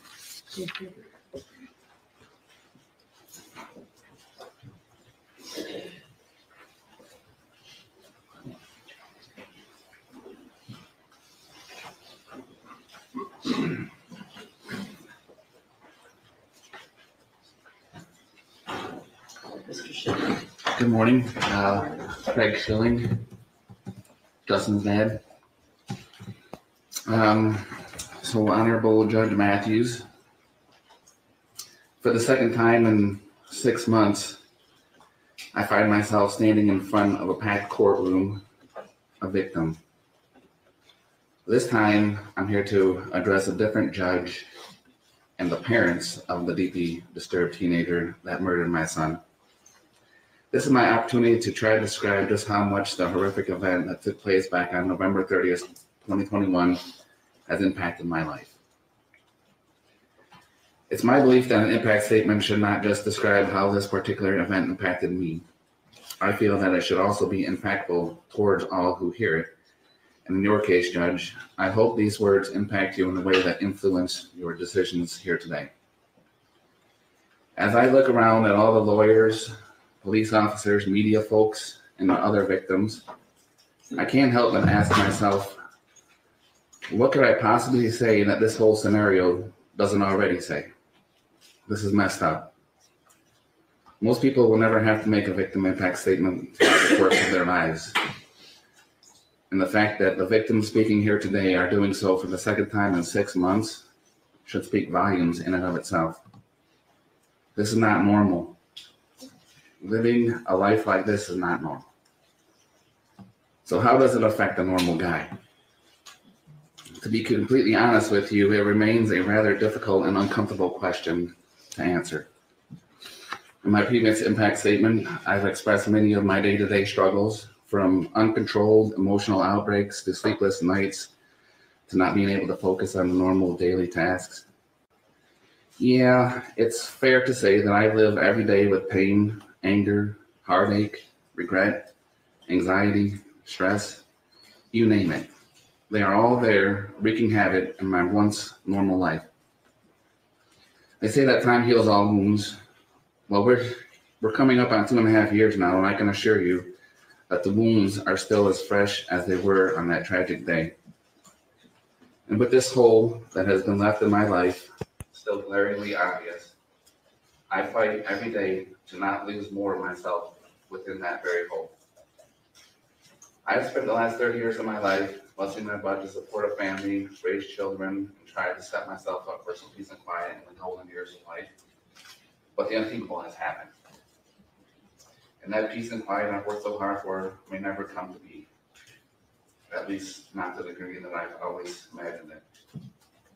Literally every single aspect of my life has been affected by this tragedy. And I could spend a long time describing in detail just how it has impacted me. But it seems like it would be way easier for me to just tell you how this tragedy hasn't impacted me. Because there's something left on that list. Now that the verdict is out on this monumental case, I feel strongly that it has caught the attention of most parents across the country. The overwhelming facts in this case were all that was necessary to prove that James and Jennifer Crumbley not only neglected their son by failing to get the necessary mental care that was clearly needed, but provided him the very tools necessary to carry out those heinous acts of violence. It was these very facts that allowed not just one, but two full juries to find both of them guilty of involuntary manslaughter. I will always maintain the opinion that the facts that were presented in these cases were strong enough to convince any jury of their guilt, and that the verdict would have been the same regardless of where the trial was held. As I have maintained throughout the course of the past couple years, being the parent of a murdered child tends to cause you to seek out the maximum penalties allowed for each guilty verdict derived from any of the criminal charges. I think this stance is completely justified and would be so for any parent in this position, in the same position as mine. However, this is a court of law where a person is innocent until proven guilty and the defendant has the right to dispute the facts of of the charges against them. That being said, during the course of both of these trials, I did my best to capture every word and process all the facts. This is important because there is value in these facts, not just in the thousands and thousands of man hours invested in gathering, processing, and organizing the evidence, but also for being able to use that evidence to establish the cold, hard truth of this tragic situation. That James and Jennifer Crumbley failed in their parental responsibilities as they pertain to the shooter was their son. The cold truth that shows that they did nothing to address the obvious signs of a deteriorating mental state of mind clearly present within their son. And of course, the very hard truth that shows that they provided their son with exactly what he wanted to use to do what he did and failed miserably to secure it properly. One would probably think that in order for something like this, Uh, something of this magnitude to even happen at all, there would have to be a ton of things that went wrong. Although there were some things that definitely went wrong that day. For several of those things, I believe that if they had been handled correctly, we wouldn't be here right now. And James and Jennifer Crumbley carry the bulk of the responsibility needed to handle those things. During their trials, the overall similarities between the two were evident, and I believe this is why they were both convicted. Numerous facts that were the same for both trials showed clearly that the parents failed their son and ultimately the entire community. With Jennifer, the thing that resonates most is that she stated that even knowing what she knew now, she still wouldn't have changed a thing. I almost died when she said that.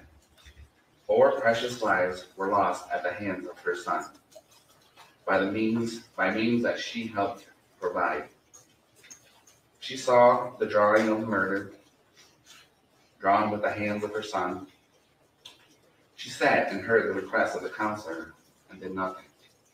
And she still says, or says, that she wouldn't have changed a thing. I just don't understand how someone can be that heartless to make a statement like that. The blood of our children is on your hands too. This is but one reason why I feel that Jennifer should receive the maximum amount of her, for her sentence. The facts presented should be all the others that you should need. With her distinct lack of remorse and overall unethical understanding of the tragedy, I feel that the maximum amount of time available is needed for her to be able to fully comprehend the gravity of her actions and the lack thereof. With James, there were a couple of things that jumped out at me in particular, but one thing that is the toughest to digest is the fact that when the verdict was being read, he sat there and shook his head in total disagreement, as if to suggest that the jury was wrong and that there were no grounds for a guilty verdict. I was dumbfounded to see him shake his head with such disbelief, an action that only suggests that he truly believes he did nothing wrong. How could you possibly think that? Four precious lives were lost at the hands of your son by means that he helped, or by means that he helped provide. He saw the drawing of the murder, drawn with the hands of the son. He sat and heard the request of the counselor and did nothing. I just don't understand how someone can so arrogantly dawdle in a pool of self-pity without being able to say one thing to justify themselves. The blood of our children is on your hands too. This is but one reason why I feel James should receive the maximum amount of- for his sentence.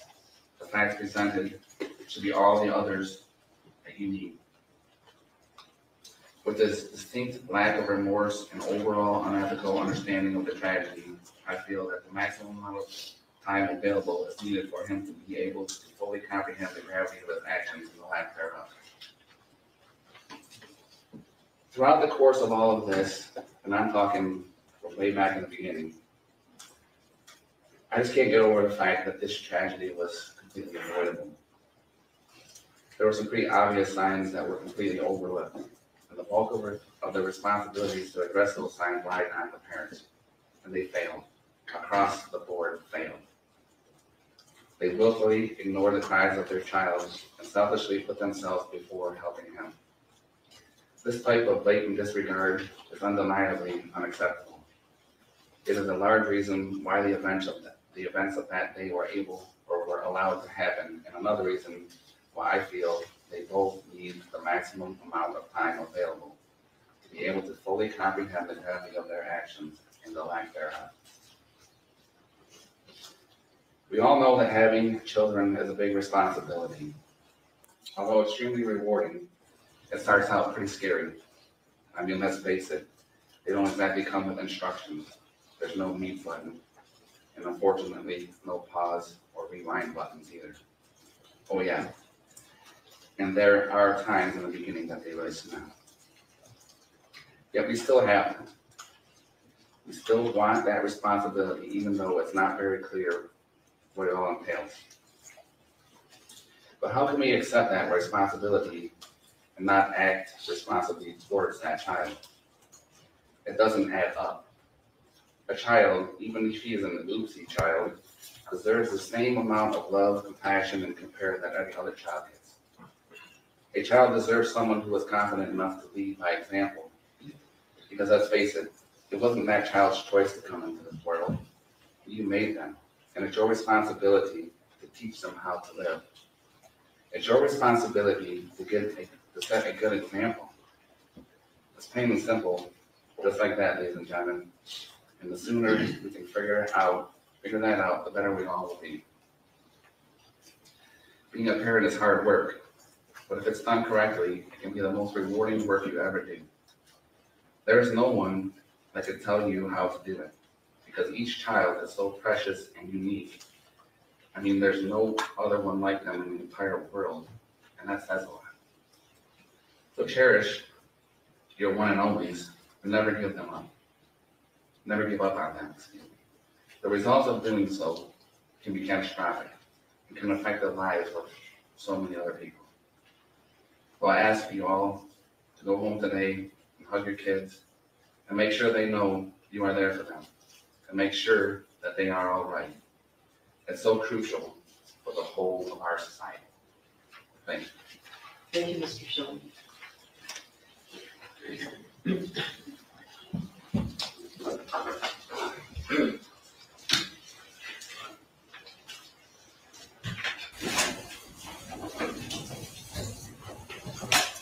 Reina, right? Yeah. Reina St. Julie. Our 10 year old little brother had to learn how to write a eulogy for his sister before he even learned how to write essays. November 30th, 2021, all our parents did was send us off to school. Yet the next time they see Hana is to recognize her lifeless body in a medical examiner's office. I met up with Hana and a friend during school that day. When we split ways to go back to class, I just looked back and smiled. I didn't say goodbye. I never got to say goodbye. I never got to remind her that I love her, that she's my everything, the person I want to walk through life with side by side. I thought our future was a given. Of course, she'd play her first high school basketball game that night, get ready for all the other school dances, have her JV and varsity season for all the sports she played, get her driver's license, play her lacrosse season, have her first date, prom, graduation. She never got a chance for any of that. She didn't even get her 15th, 16th, 17th, or 18th birthday. These are only some of the high school experiences she never got to have, but it is absolutely nothing compared to the rest of everything she had going for her future. That list is eternal. Hana's life had only started to begin. 12:51 p.m., November 30th, 2021. That was the moment I became aware of the fragility of our mortality. Hana, who was healthy, Hana, who was only 14, shot four times. 12.5% of the bullets shot that day were at her. She took her last breath in her own pool of blood in a school she hadn't even been in for three months. Alone for seven, seven minutes while police passed by her, bleeding out as a security guard failed to put a tourniquet on her, dying as EMS took more than 10 minutes after the shooter had been detained to even give aid to her. Our Japanese grandma would often worry about anything bad happening to us because she knew how dangerous it is here compared to Japan. She told me on FaceTime that Hana would respond with a laugh, saying, Don't worry, I'm a fast runner. I'll outrun them. It wasn't possible for Hana to outrun the bullets bought by you, Jennifer Crumbley, which were fired by the 9mm Sig Sauer that you, James, gifted to your son. Both used to murder Hana, Justin, Tate, and Madisyn. The fact is, no matter what you try to make yourself believe, Jennifer, you did feel as a parent, both of you. To love and to be loved, that is the human experience. It was up to you guys to show your son that. Instead of giving quality time and compassion, you gift your son a gun, a gun you knew caused extraordinary damage. There's a reason your kid didn't use the other two firearms or the .22 ammunition you own. I believe your actions cannot even be confined into the word failure. Your mistakes created our everlasting nightmare. So, yes, you are still a danger to society because even after serving two years, you have yet to admit, to your wrongdoings. And we know that when we do not learn from our mistakes, we repeat history. You call yourself a victim. The difference between you and Hana, Justin, Tate, and Madisyn, you and my family, you and all the students there that day, is that we didn't have a hand in causing this. You caused the most cruel thing I could ever imagine. You guys made loving Hana so painful. That is not a narrative, that is reality. For that, unless you have a time machine or the ability to stop time, there is no existing punishment and rehabilitation that will ever be enough. Because there is no way that the one life I have, I now have to live without Hana, my little sister, my best friend, my other half. To me, that makes the maximum sentence being 15 years too short. Hana didn't even have 15 years to live. Jennifer, you stated that even after knowing everything you know now, you wouldn't do anything different. I cannot fathom that. I would do anything to hear her footsteps coming up the stairs. You don't have to roll your eyes, it's on video that she said that. To not have an empty seat at the dining table, to have her come into my room and ask which clothes to order, to see her napping on the couch, to laugh and share a look when we accidentally say the same thing at the same time. There's not a day that goes by that I wish I hadn't run out of that building. If I knew what I know now, I would do everything differently in a heartbeat. I hope time makes you think differently. One day, I hope you would have chosen to care for your son, teach him how to love and to be loved, that you would not choose to buy the bullets that enter children's bodies, that you would not choose to omit relevant important information to the counselor Shawn Hopkins and Dean of Students Nicholas Ejak that could helped their incompetent brains and one shared brain cell to decide to act and search the backpack. That you wouldn't still choose to hide from accountability when you're the reason we had to hide for our lives. That you would choose to save Hana, Justin, Tate, and Madisyn. Like my mother said, both of you should implore that even on your worst days, it's the tomorrow Hana doesn't get. The tomorrow she wanted to live so badly, the tomorrow that she should have. I can never do Hana justice when talking about her. She's all I want to talk about, and yet I would need a lifetime and still wouldn't have the right words to capture incandescence, humor, thoughtfulness, kindness, or loyalty. She's always there for you, helping without a second thought. She's always sharing, whether it's her smile, her food, her clothes, her crafts, her joy. She's funny. it's a given. She brings people together. Whether it's her contagious laughter or sarcastic wit, you will be laughing right along with her. She's noticing the small things new shoes, new haircut, cute jewelry. But even more importantly, she makes you feel seen. She's extremely spirited. Her energy is unmatched on or off the court.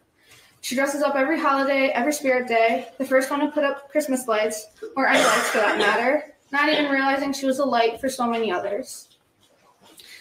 She's the one who would not only playfully roll her eyes and smile when I would say I'm taller than her as I look up to her.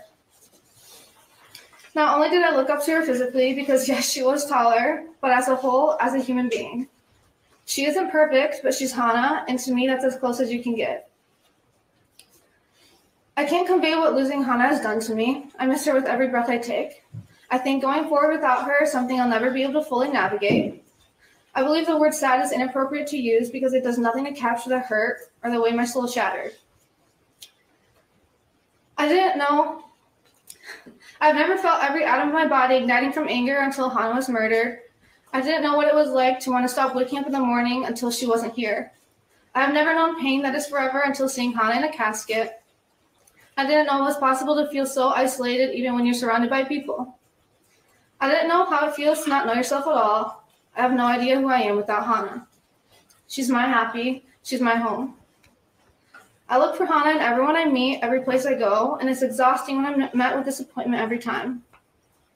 But it's the world, it's all the people she would have met. I grieve for them too. To have that chance of Hana being in your life taken away from you is a tragedy in and of itself. She's more she's more of a person than you two combined times a trillion could ever even hope to be. But when the day comes that you re-enter society in 13 years, I hope you live more like Hana. I hope you live every moment to the fullest like Hana. I hope you laugh every day like Hana. And I hope you love unconditionally like Hana. That's it. Thank you, Ray.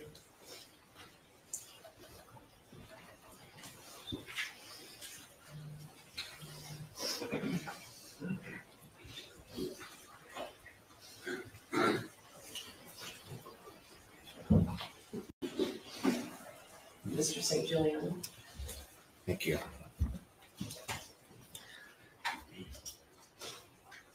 Find myself in a rather odd state of mind today. Rather emotionally blank right now. Part of that is having to do this again.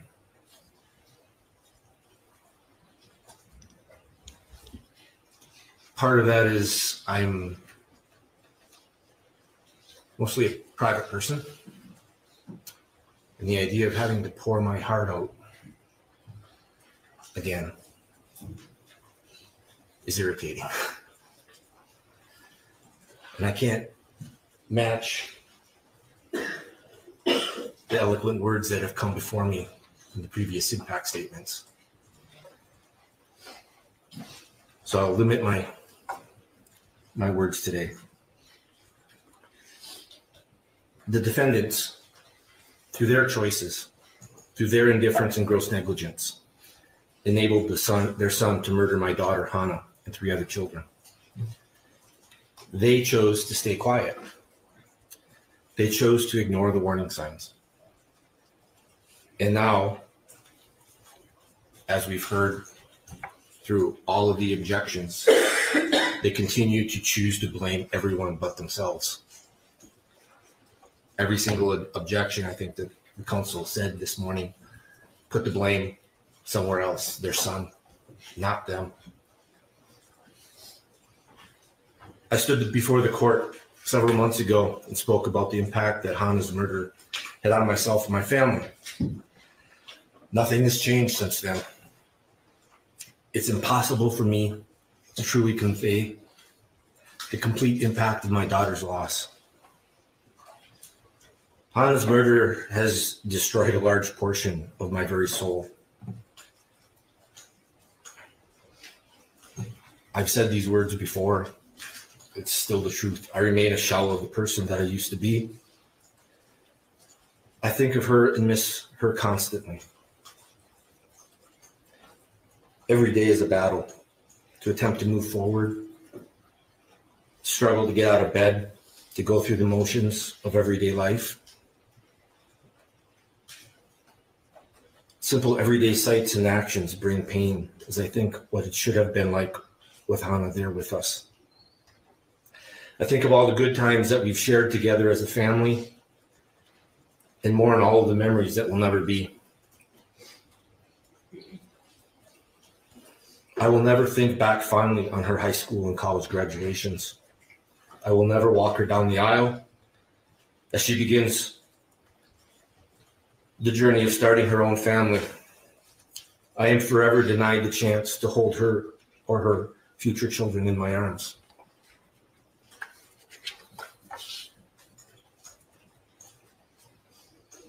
A few words describing Hana can in no way fully capture her truly beautiful, caring soul or impart, impart her unlimited, unlimited potential.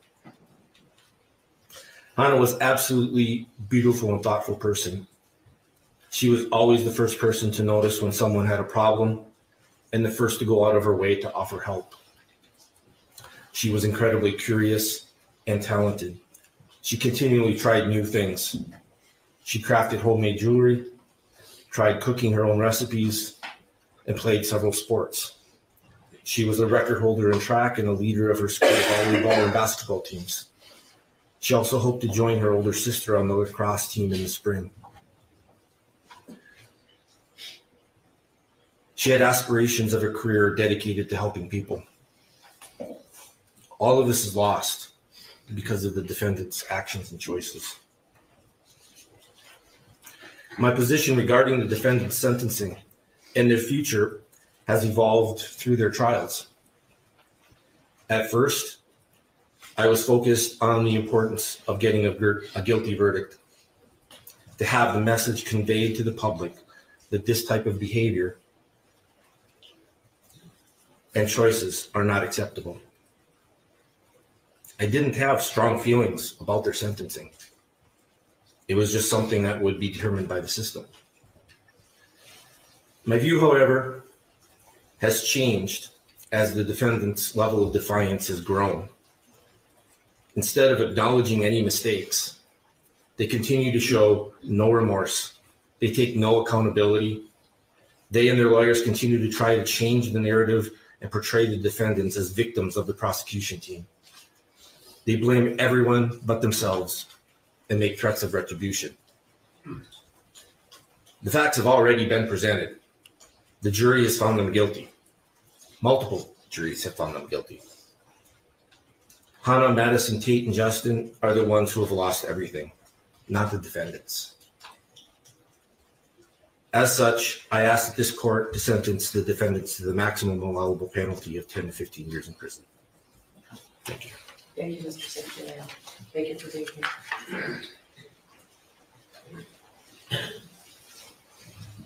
here.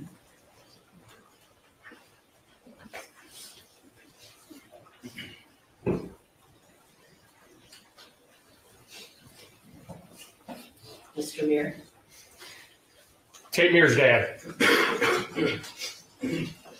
Uh, first of all, um, Marc, Karen, the whole team. Strong work. Everybody said you couldn't do it, and you did it.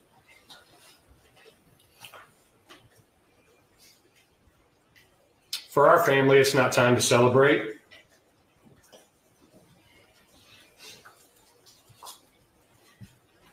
This tragedy has taken a an incredible toll on our family.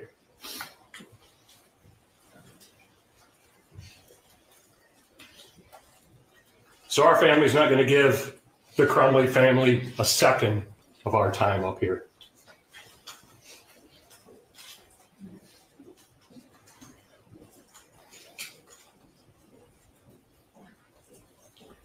It's time to turn our focus now. This is the low hanging fruit.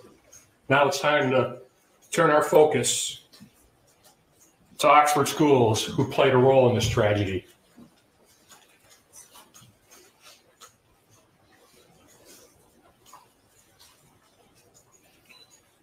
You know, I hear this this morning when we're listening to all the objections and hear Shannon talking about protecting the criminals, civil rights, constitutional rights.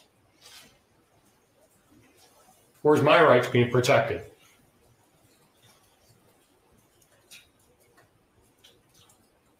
I fight for everybody in this room. My rights aren't being protected.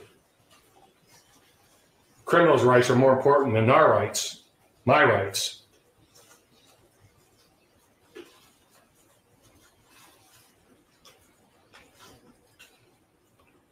We are ready for our government to perform an investigation on this tragedy.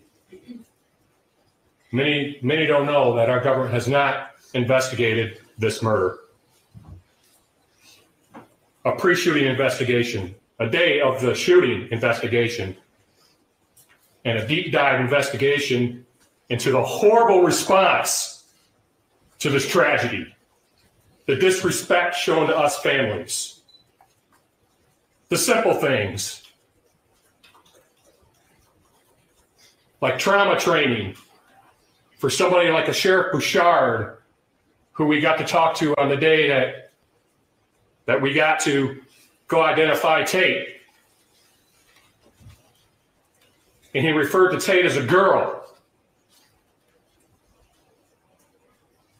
Because he was too busy that night working to cover up, cover it up instead of learning what every about every kid, Tate, Hana, Justin, and Madisyn.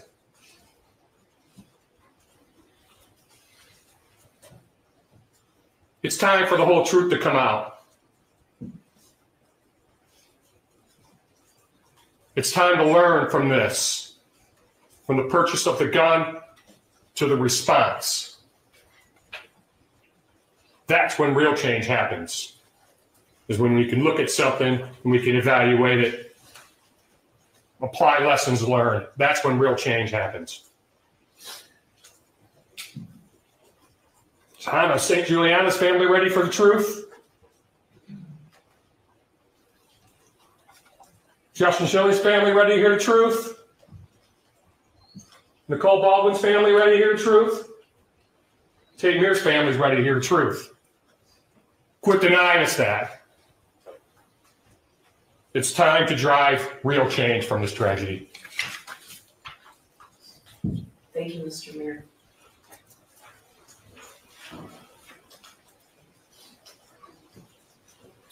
That that concludes the victim impact statements. There's no one else, you're, you're not presenting anybody else. Correct.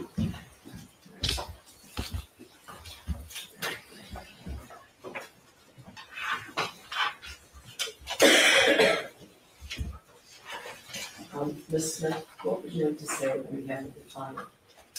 Um, Your Honor, my client would also like to make a statement. Would you like Of me to? course. Okay, Of course, you may both for thank sure. you. I just, I didn't know what to read on this one. Um, Um, e- e- either, either way, either one first, it's up to you. You were your time. Could you Joe first or would you like me to go first?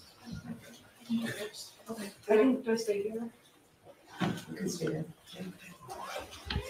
Your Honor, um, is there any way she can have this handcuff off? Because she has multiple pages. Okay, from right here, I don't have to shuffle. You're okay. I don't, I don't know if I'm allowed to. Okay, it's okay. She said she's okay. It's okay. Go ahead, Ms. Spencer. I sit here today to express my deepest sorrow for the family of Hana, Tate, Madisyn, Justin, and to all those affected on November 30th, 2021. The gravity weight this has taken on my heart and soul cannot be expressed into words. Just as I know there is nothing I can say that's going to ease the pain and suffering of the victims and their families. There's a quote I heard that rang true grief. For those of you who understand, no explanation is needed. And for those of us who do not, no description is possible. I've taken countless nights of lament over the anguish and shame I carry knowing what my son did, the harm he caused innocent lives, the families, and to the entire Oxford community. I pray all the victims are the embodiment of God's mercy and peace, and that he, he heals your broken spirits. When I was on the stand, I was asked if I would have done anything different. I was horrified to learn my answer I would not have was completely misunderstood. That answer is true because my dad, my son did seem so normal. I didn't have a reason to do anything different. This was not something I foresaw. That was the intention of my answer and how I interpreted the question. With the benefit of hindsight and information I have now, my answer would be drastically different. If I even thought my son be capable of crimes like these, things would have absolutely been different. Even worse, when I learned during the police investigation that he had been planning a school shooting before November thirtieth. He was not the son I woke up, he was not the son I knew when I woke up on November thirtieth. The Ethan I knew was a good, quiet kid. He loved his pets, family vacations. My husband and I used to, used to say we had the perfect kid. I truly believed that. And that's who I saw and thought I knew. As the details started emerging during discovery, I was horrified to learn concerning behaviors my son was reported doing at school. Refusing to take a makeup test, he told us he took. Sleeping in class, drawing pictures of guns on his assignments. Writing quote, my family is a mistake. Watching a video in class of a mass shooting that fatal day. Along with internal communications that took place between his teachers and counselor, Mr. Hopkins. That he is quote, on my radar, and quote, he seems to be having a rough time, was never disclosed to us, his parents. The school claimed this was not abnormal behavior because of the pandemic and Oxford being in a quote gun community. To say I was curious to lear- learn this information is an understatement. This is not normal behavior to us and very different than what Ethan led us to believe was happening at school. Not only were you left in the dark about previous concerning behavior, but in the counselor's office that morning, none of those previous issues were brought to our attention. I can't stop thinking, had they been, the conversation that morning would have been much different. That we would have taken a deep dive into what's really been going on with my son. I wonder if Hopkins and Ejak have those same regrets too. Instead, we are led to believe, not only from Hopkins and Ejak, but from Ethan as well, that this was an isolated event. We felt confident in trusting the professional's advice to let him stay in school that day. Quote, he did not, he does not pose a threat to himself or others. It was suggested that him being around peers would probably be good. We agreed. We were never asked to take him home that day. If that was discussed as the best course of action, we would have obliged. The prosecution keeps saying we didn't give them the big picture that morning at the counselor's office. But what they failed to acknowledge is the bigger picture the school did not give us. I'm not the same person I was prior to November thirtieth, twenty twenty-one. This tragedy has changed who I am and has taught me some very valuable lessons. It said in suffering, we gain wisdom. I've also gained God. In the quiet hours of my cell, I prayed to him about the deep impact this tragedy has had on the families and the endless pain no one should ever have to feel. For is God we hold a true understanding of our pain. I've also learned to depend on him for peace and strength. Alone, I'm not strong enough. I've learned that we cannot tell or predict what will happen to us in this life. One day you wake up and everything can change. We can, however, decide what happens in us, how we take it, what we do with it. And that's what really matters in the end.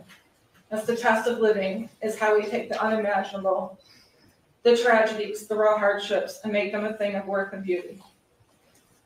I've also learned to think, to never think this could not happen to you, and stereotype that bad kids come from bad parents. The prosecution has tried to mold us into the type of parents society wants to believe are so horrible, only a school or mass shooter could be bred from. This is a very assumption to have. We were good parents. We were the average family. We weren't perfect, but we loved our son and each other tremendously. Everything we strived for was to make sure our son had the best life we could give him, to grow up with traditions and experiences we had, to be the best person he could be. I know we did our best. The love I have for our son, mixed with regret for not seeing what was ahead, weighs heavily on me. My point is, this could be any parent here in my, up here in my shoes. Ethan could be your child, could be your grandchild, your niece, your nephew, your brother, your sister. Your child can make a fatal decision, not just with a gun, but a knife, a vehicle, intentionally or unintentionally.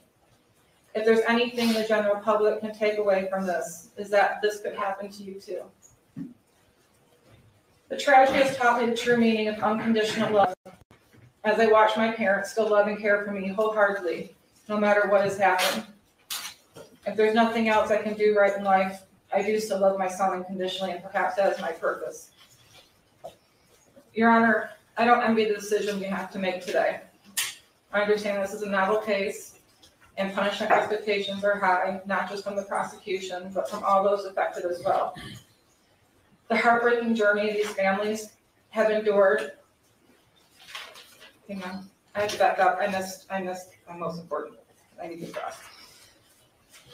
A most valuable piece of wisdom I gained is the power of forgiveness. To forgive the prosecution for the slander and hate against me and my husband. Ms. McDonald, Mr. Keast, I have hated you with deep anger, but hate is too heavy of a cross to carry. I need to be set free of that burden and recognize that you are people just like me, imperfect, but child of God. I know He wants good things to happen to you, and in any conflict, whatever the circumstances, He is there loving both sides. To the victims and the families.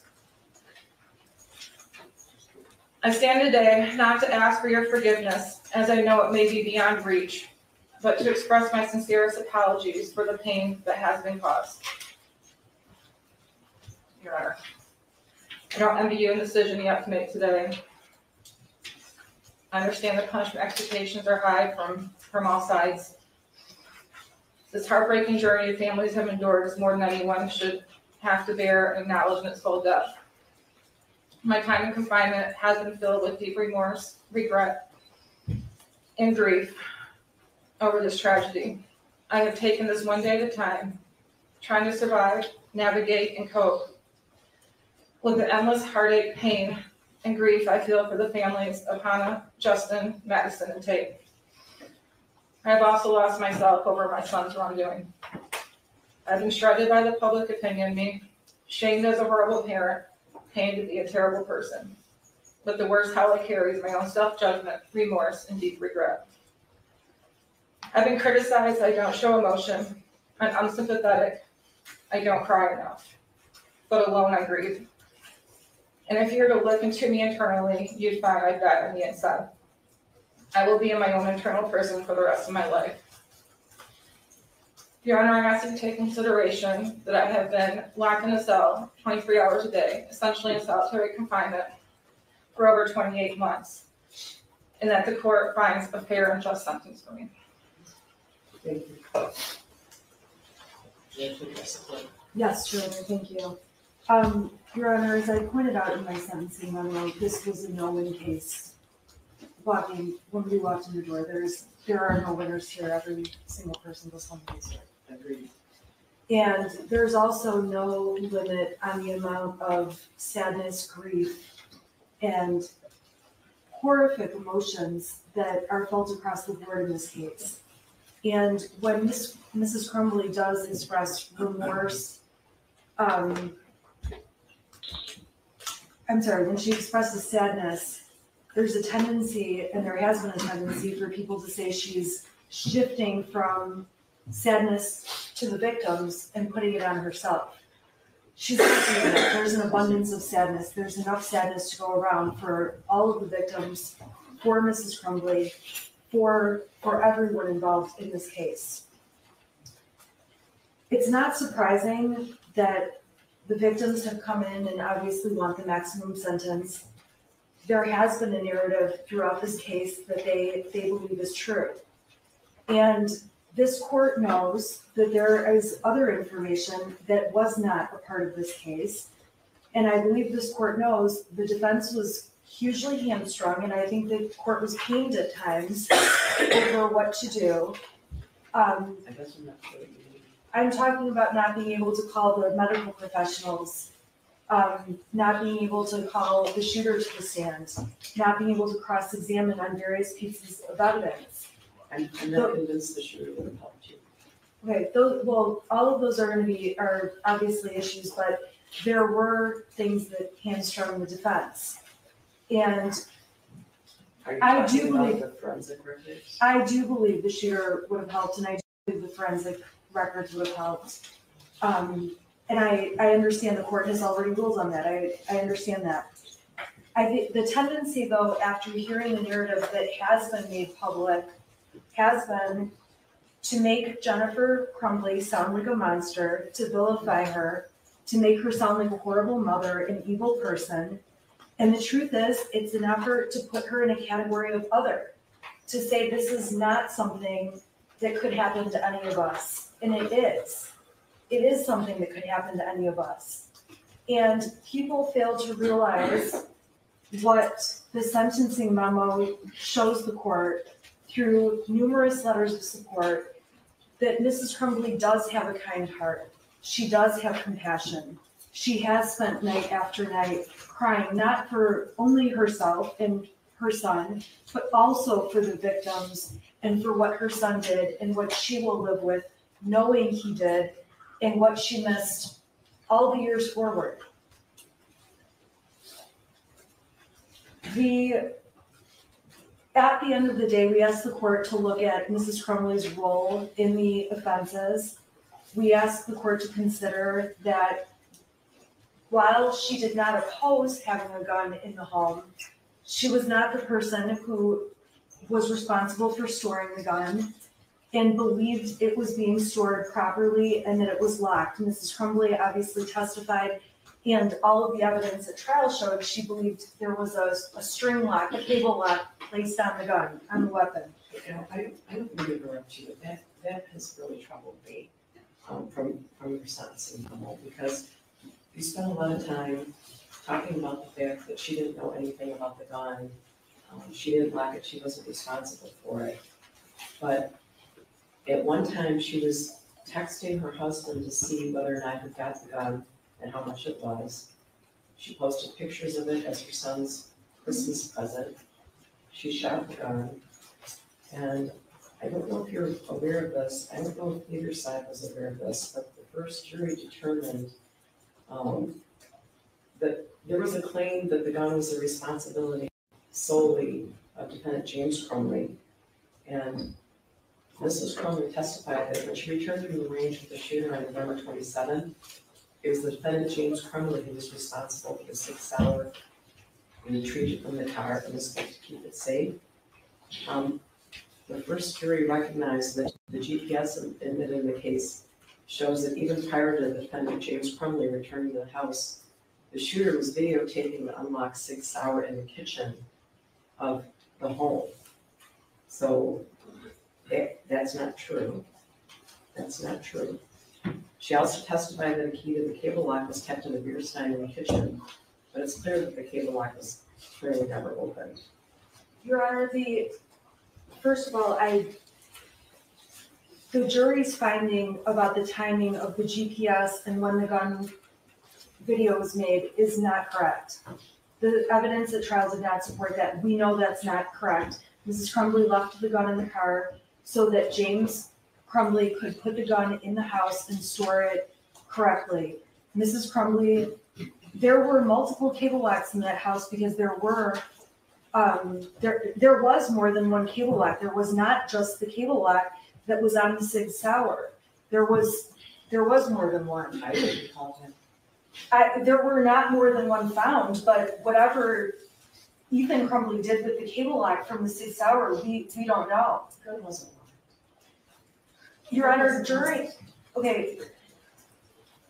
Factually, during Mrs. Crumbley's trial, it was not proven that the gun was not locked. I don't know what happened at James's trial, James Crumbley's trial. You know about his statements.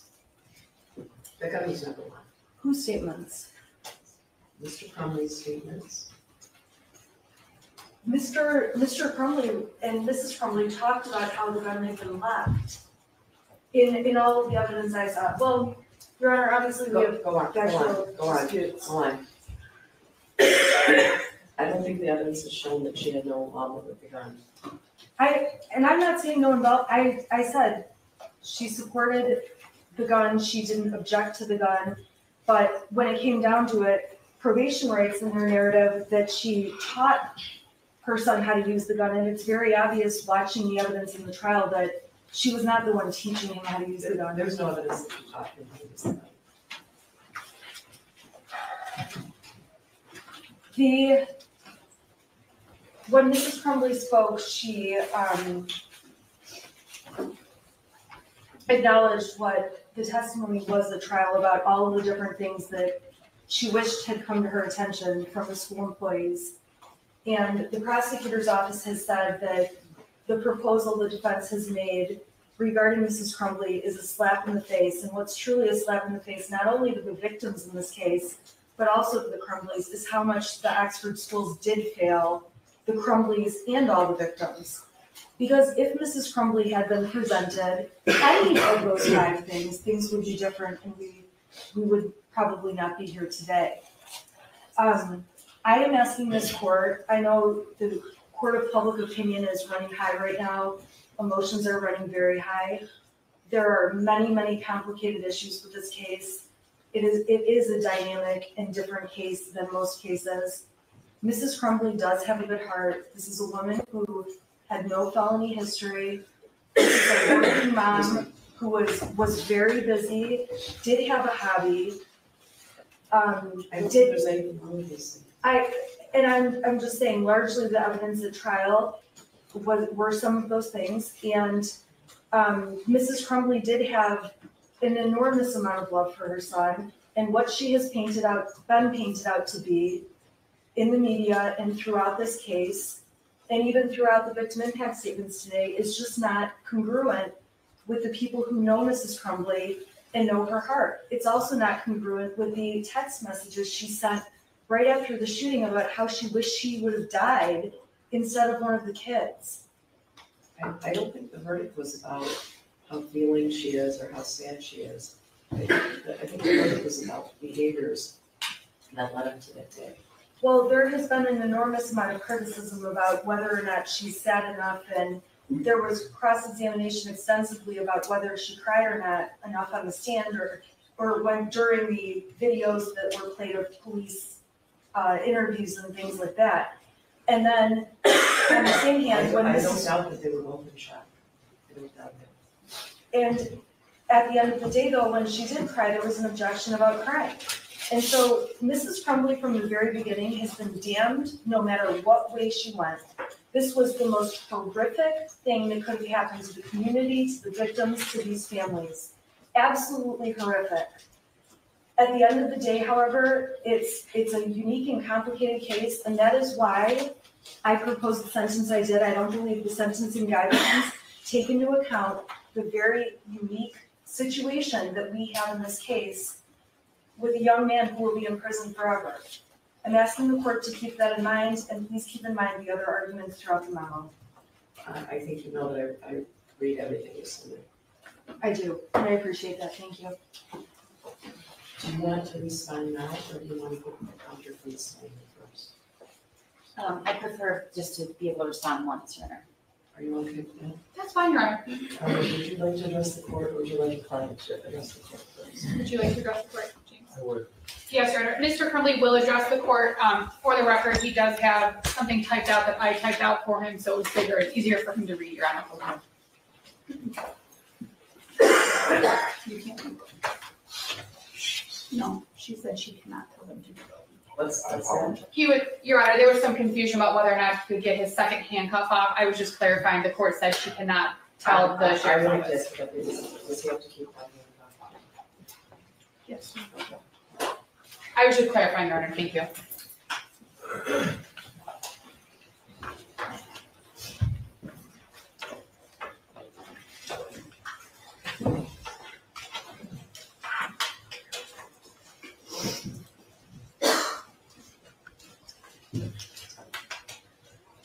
Before I address this court directly, I want to do something that I have never been able to do throughout this time until now. I want to say I can't imagine the pain and agony that the families, for the families that have lost their children and what they're experiencing and what they're going through. As a parent, our biggest fear is losing our child or our children. And to lose a child is unimaginable. I, my, my heart is really broken for everybody involved. I understand my words are not going to bring any comfort. I understand that they're not going to relieve any pain. And quite frankly, they probably just don't believe me. However, I really want the families of Madisyn Baldwin, Hana St. Juliana, Tate Myre, Myre, and Justin Shilling to know how truly am I, how truly sorry I am and how devastated I was when I heard what happened to them. I have cried for you and the loss of your children more times than I can count. I know your pain and loss will never go away.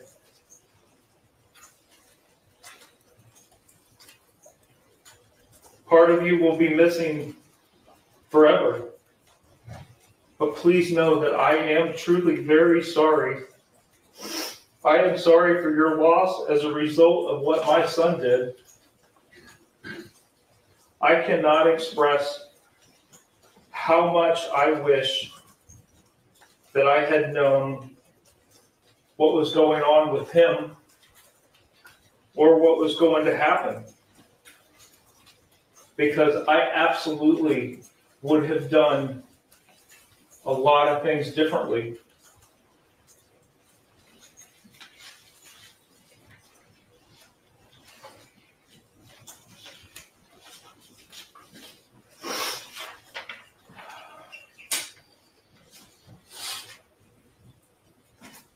Again, my, my heart pours out to every single one of you.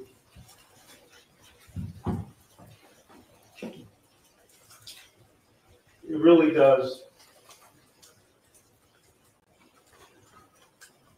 Judge Matthews, I'm not gonna, I'm not gonna overdo a, a, a lot of things that, that, that were already said. But I know the full amount of pressure that, that you have on you and the responsibility that has been placed on you throughout this case. Have the utmost respect for you, and I'm simply going to ask that you sentence me in a fair and just way. You presided over my trial. and heard the evidence that was presented against me. You know that what my son did, I was not aware of, or that he was planning it, or that he obtained access to the firearms in my house. There was absolutely no evidence that suggested that. As my attorney has told you, I've been on lockdown for 23 hours a day. I've not been able to speak to my son since November 30th. And I have not been able to speak with my wife since December 3rd. I know that I have experienced pales in compassion to what those families who've lost their children and countless other victims experience every day because of what my son did. But I want you to know I too grieve for everyone, as I have explained. For everyone that's been affected by what my son pled guilty to doing. And I'll continue to feel this pain for the rest of my life as well. If I could go back and change things, if I could go back and do things differently, and maybe none of us would be here today. So again, I ask your honor to impose a just and fair sentence based on the truth about what you heard during my trial. I'm asking the court to sentence me to time served and place me on probation for the maximum time allowed with the GPS tether for as long as the court deems necessary. I also want to address one last thing.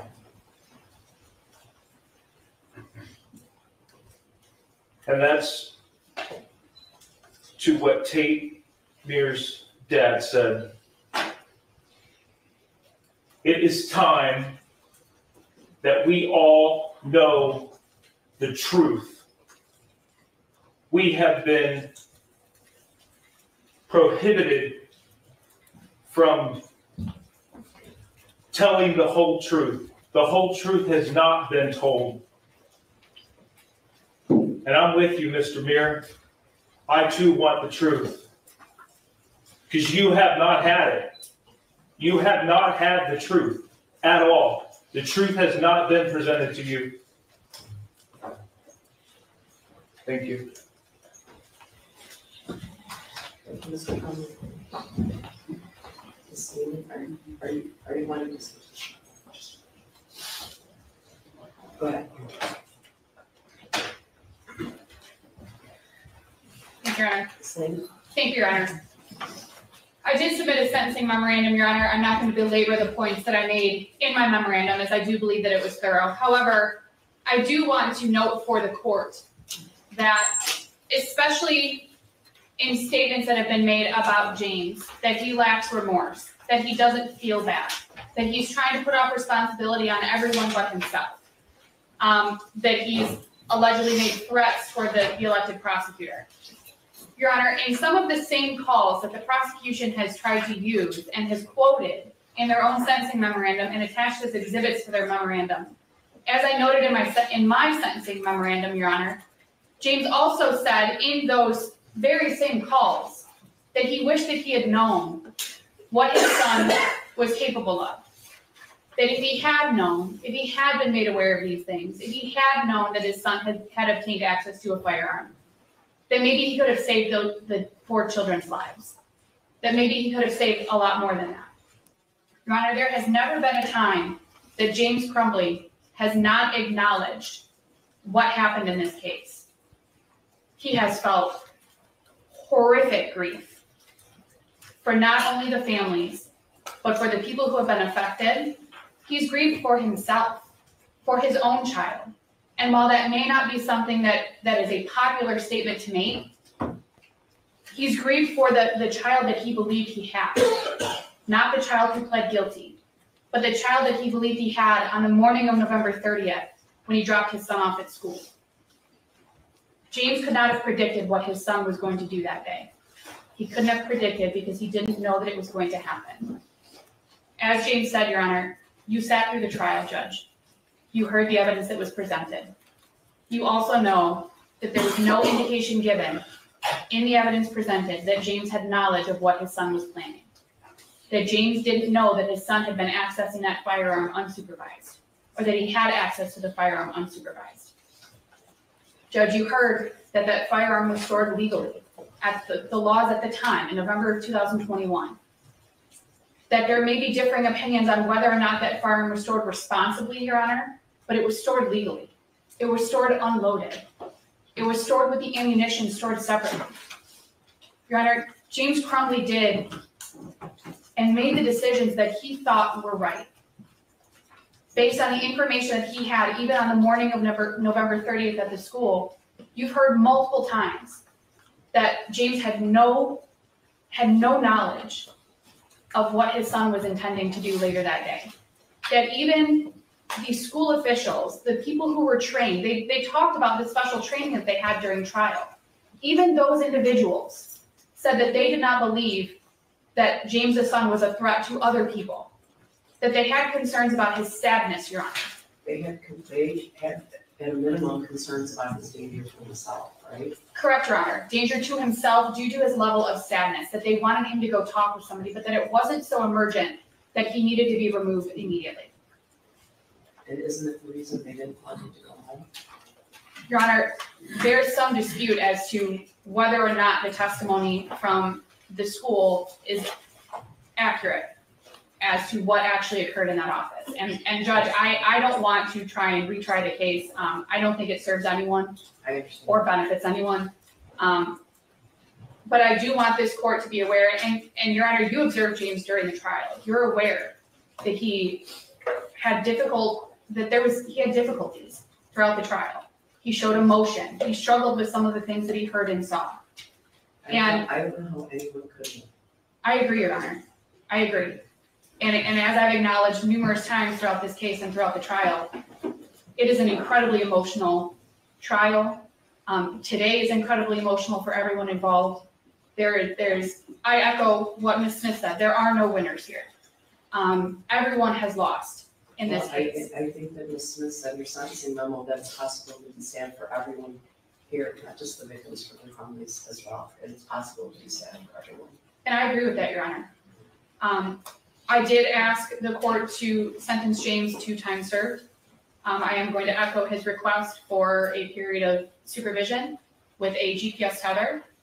Um, I understand that the court, we did object to some scoring. I understand that, again, the court has significantly strong, um, strong pressure. There, the, the emotions run high in this case, Your Honor. I don't envy what you have to do. However, I am asking that you consider my request. Thank you, Your Honor.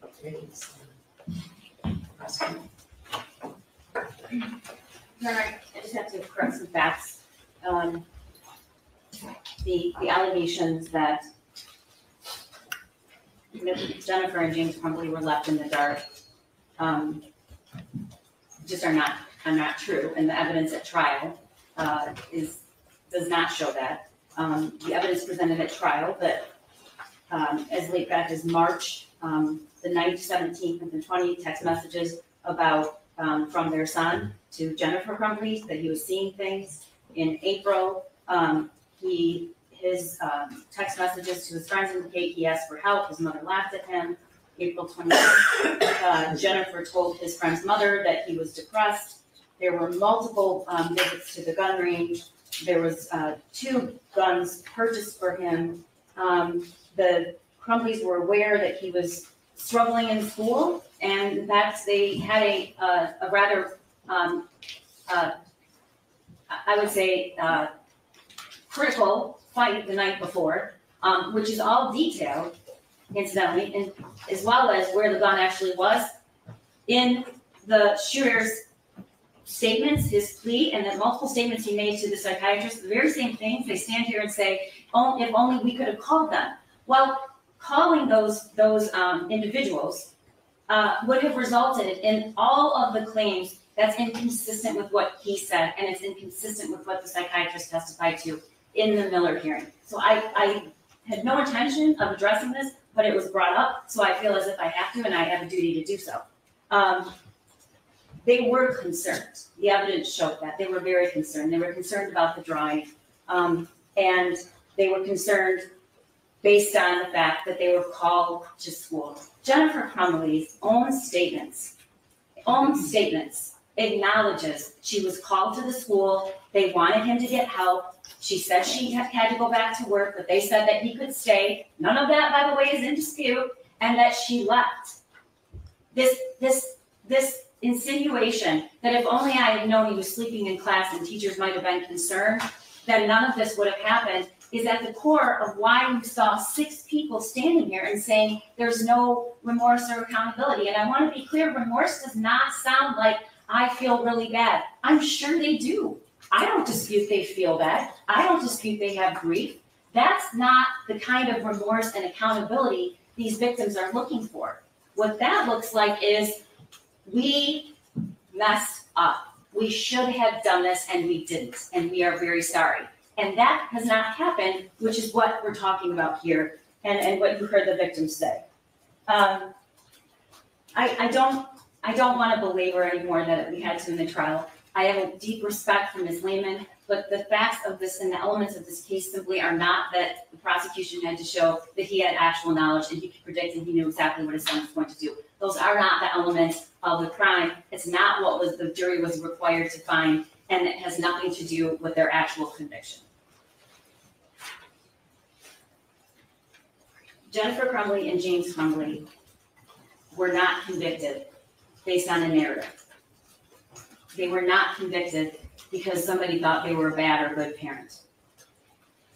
Those two trials involved multiple, multiple motions and objections over evidence that the court sustained. We did not allow the jury to present the, the, information about Jennifer Crumbley that her lawyer made a strategic decision to in the middle of the trial, say, open the door, you can bring it all in, was not, was not due to the prosecution's requests or actions. But you can't seek to exclude evidence and then allow somebody to testify to an inconsistent with the evidence. The last thing I want to say is there is case law that the court's aware of about what the court can consider in, in fashioning a proportional sentence. And we don't give power or authority to victims to decide or render verdicts with good reason. But we should not, and we cannot sanitize their pain or the weight of the impact or chalk it up to it's emotionally charged.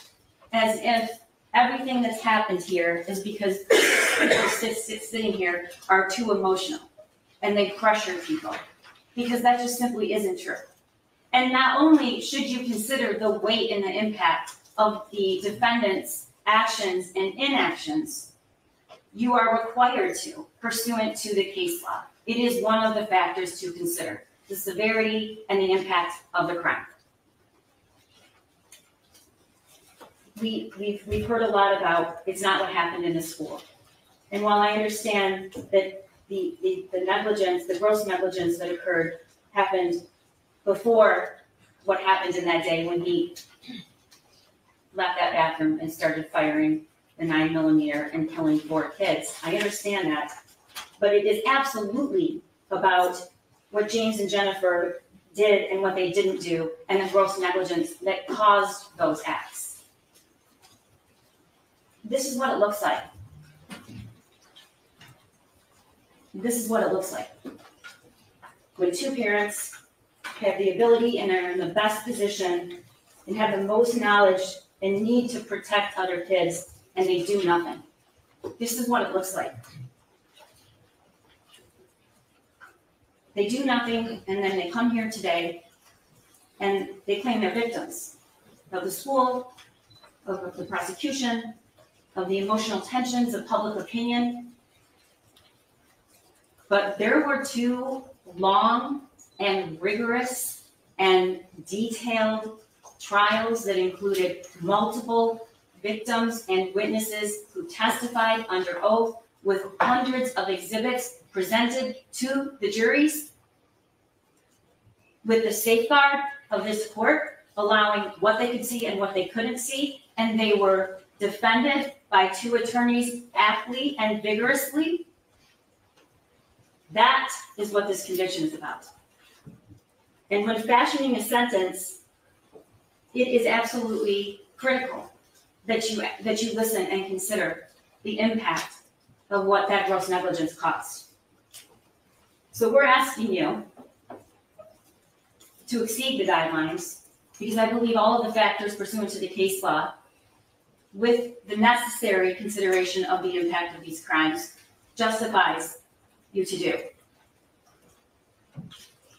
We're asking you, the people are asking you, Your Honor, to consider the devastating impact of their gross negligence that was foreseeable. Help me. Blood everywhere. The world is dead. All the while, a nine millimeter had just been purchased for him and, and he, fifty rounds of ammunition. Both things can be true, Your Honor. You can fashion a proportionate sentence, but not ignore the unimaginable loss and agree, and a grief that these parents, these parents are enduring. Because they will never get back another moment with Tate, or Hana, or Justin, or Madisyn. And this is what it looks like. Thank you. Thank you. I guess I, I would like to say briefly to the families, um, considering your immeasurable grief, it's completely understandable to hate everything associated with these proceedings. I, um, spent both trials looking out at all the family members and I, I wondered to myself, I was looking straight on at Mr. Uh, St. Juliana, whether or not he'll ever smile again. And, um, that's very difficult. Um, I'm very aware of, of my job in the situation, very aware of my job, uh, to not be uh, swayed uh, by public opinion, by media, by any of those different things. I can't and um, will not pretend to understand the pain the families are experiencing, but I did sit through these trials with you. I saw what you saw, I heard what you heard, so I can and will offer my deepest and most sincere condolences for your unfathomable, unfathomable losses. It's, it's, as I just said, it's not, it's not my role, it's not the role of the court system to make an example of the defendants. However, it is a goal of sentencing to act as a deterrent. These charges are not jury edicts about gun ownership or keeping a gun in a private home. All of the jurors in both trials agreed that they understood that. Parenting is a complex job. Parenting practices around the world share the goals of ensuring health and safety, preparation for life as a productive adult, and transmission of cultural values. Parents are not expected to be psychic. But these convictions are not about poor parenting.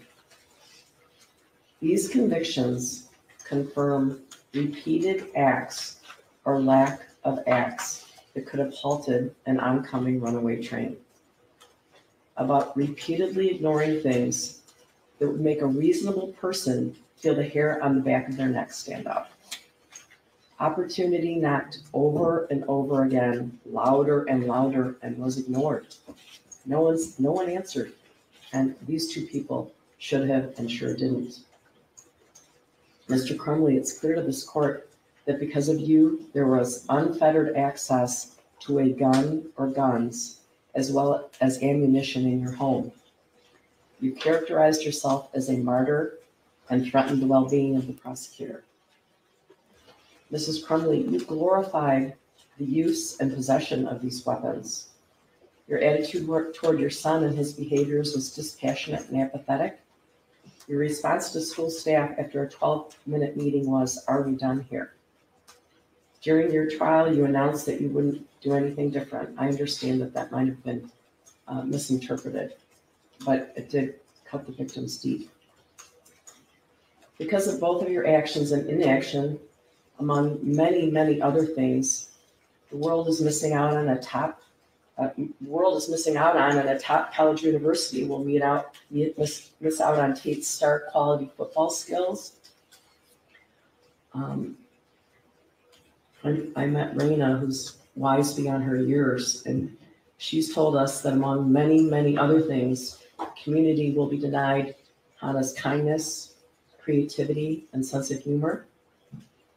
Among many, many other things, the world will miss is Madisyn's kind and loving soul and the light that reflected her beauty both inside and out. Although a hero in death because of his organ donations that helped so many, we will never know where Justin, an excellent student with vast skills and interests, described as a mentor and a leader, would have left his giant imprint. The impact statements given here and the written statements provided to the court describe the cataclysmic impact the deaths of these children have had on their children. With regard uh, to each defendant, um, this court uh, has spent night and day thinking about this case, as you can imagine. I prayed about this case. I thought about this case. And I've considered the possibility for rehabilitation, the need to protect society, the penalty appropriate to the conduct and goal of deterring others from similar, similar conduct. I, re- I have reviewed the pre-sentence investigation reports. I am, of course, sadly familiar with the facts and circumstances of these cases, as well as those surrounding each defendant. The advisory sen- sentencing guidelines in this matter do not capture the catastrophic impact of the acts or inaction in, the, in these matters. The guidelines do not take into account the complete lack of insight both defendants have for their behavior to this very day. The guidelines do not account for the severe, severity of the circumstances in this matter. The guidelines ignore the survivors, including shooting victims Phoebe Arthur, Elijah Mueller, Riley Franz, Kylie Ossege, John Asciutto, Molly Darnell, and Aiden Watson. They were deeply wounded, both physically and emotionally. In addition to the seven wounded, each of the defendants' gross negligence has caused unimaginable suffering to hundreds of others as a result of what happened that day. Each act or inaction created a ripple effect. Therefore, an out of guidelines sentence is appropriate and proportional. The court uses the useful, useful tool of the legislative guidelines, which embody the, the principles of proportionality, while also taking into account the nature of the offense and the background of each defendant. I believe that the following sentences would be in the best interest of justice and are reasonable and proportionate to the seriousness of the matter and the circumstances surrounding each defendant. With regard to Jennifer Crumbley, it is the sentence of this court, Ms. Crumbley, that you serve 10 to 15 years with the Michigan Department of Corrections. You will have credit for 858 days. State costs are $272. There's a crime victims' rights fee of $130. Um, You and your agents may not have any contact with fam- the families of Madisyn Baldwin, Tate Myre, Hana St. Juliana, and Justin Shilling. Um, I will issue another ruling with regard to contact um, with your son, the shooter. Excuse me. As defend, as to defendant James Crumbley, it is the sentence of this court that you serve ten to fifteen years with the Michigan Department of Corrections, that you receive credit for eight hundred and fifty-eight days, that you pay state costs in the matter of uh, two hundred and seventy-two dollars, that there is a crime victims' rights fee of hundred and thirty dollars, that you or your agents have no contact with the families of Madisyn Baldwin, Tate Myre, Hana St. Juliana, and uh, Justin Shilling.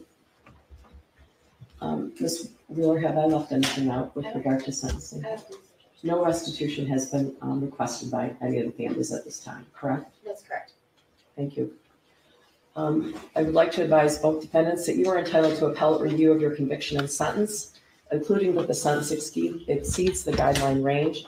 This is done by filing a claim of appeal by right, when you're, or when you are not entitled to file a claim of appeal by right, an application for leave to appeal.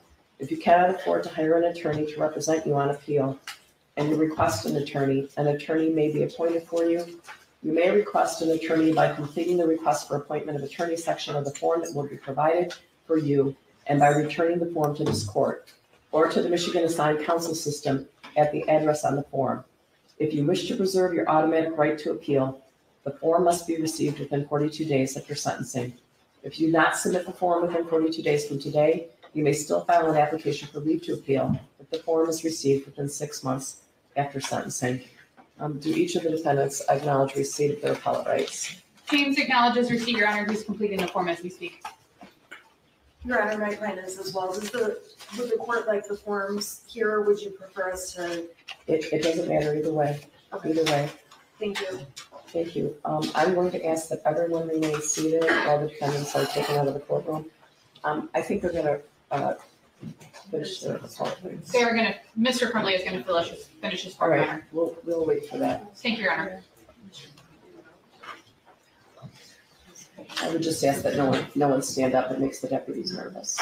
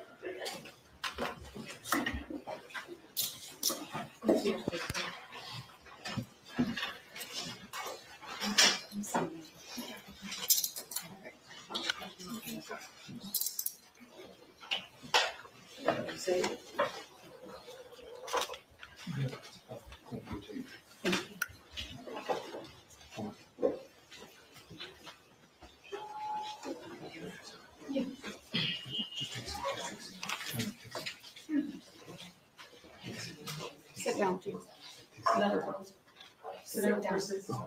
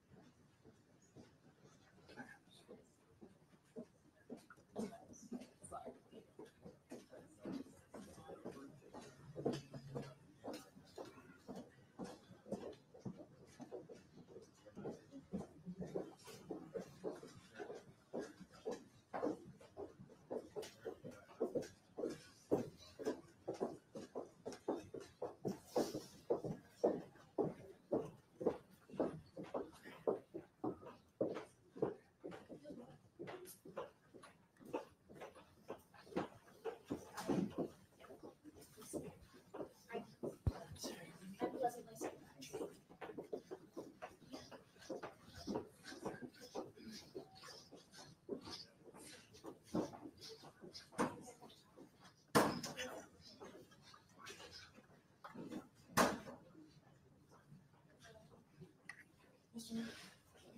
Yeah, we gotta go, we gotta go knock her point, or else, sorry.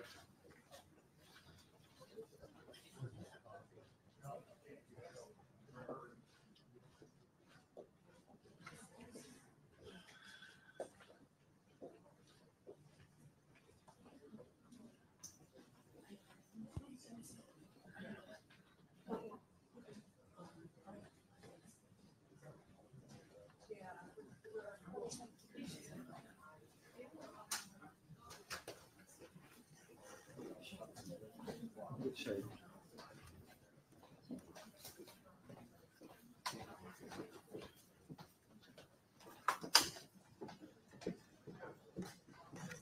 Sorry about that.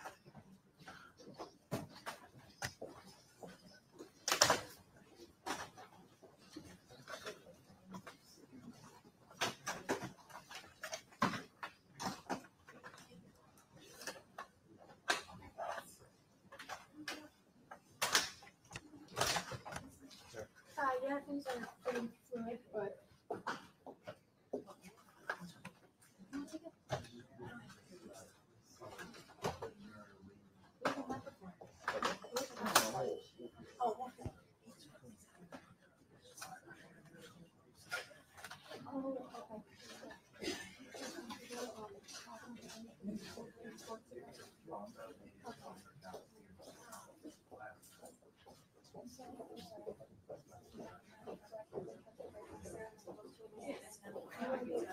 Stand by, Sarah. Here we go.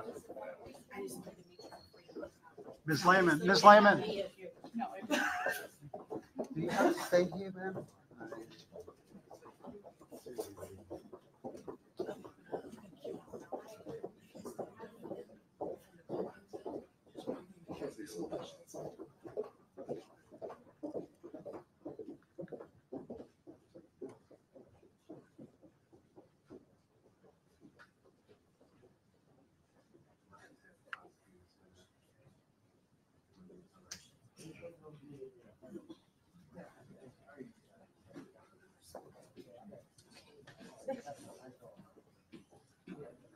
Yeah. You guys, we are just outside the courtroom. People have been walking out. We've been seeing some people walking out with tears running down their face.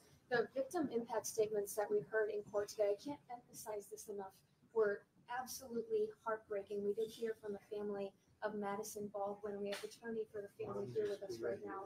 Um, you know, the last couple of months, we've had the privilege of speaking with these family members, and they've said to us that they felt that they didn't see any remorse from James and Jennifer Crumbley. It appeared today in court that they attempted to show some of that remorse today. Do you think that that was successful? No, I thought frankly it was very shallow. Especially, especially Mrs. Graham, tried to deflect everything her son, she, her son still, her son and the school district and everybody else. And not taking accountability for her own actions. And her correct.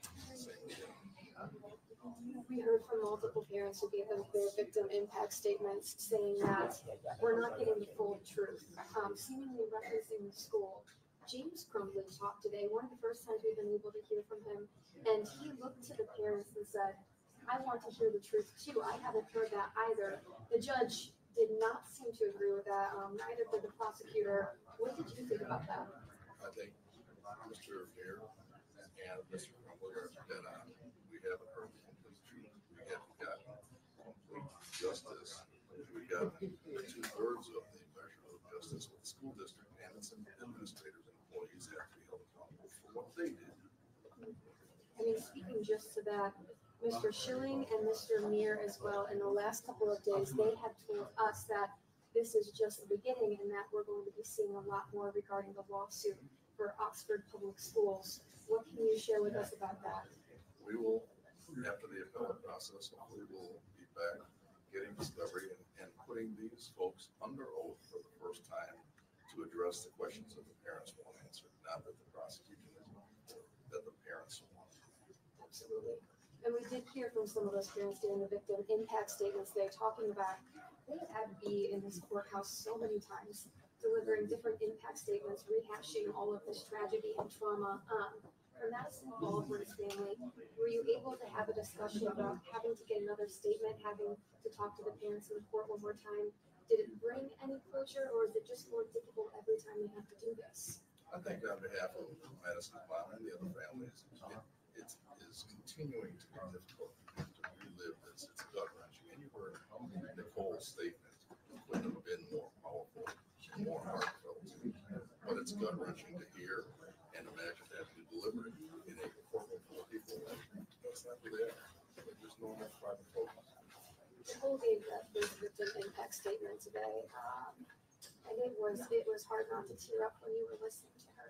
She talked about how the day of the shooting, what James and Jennifer were going through, and then the juxtaposition to what she was going through, detail and trying to find out what hospital her daughter was in. It's hard to talk about now. Um, it's really emotional hearing from her.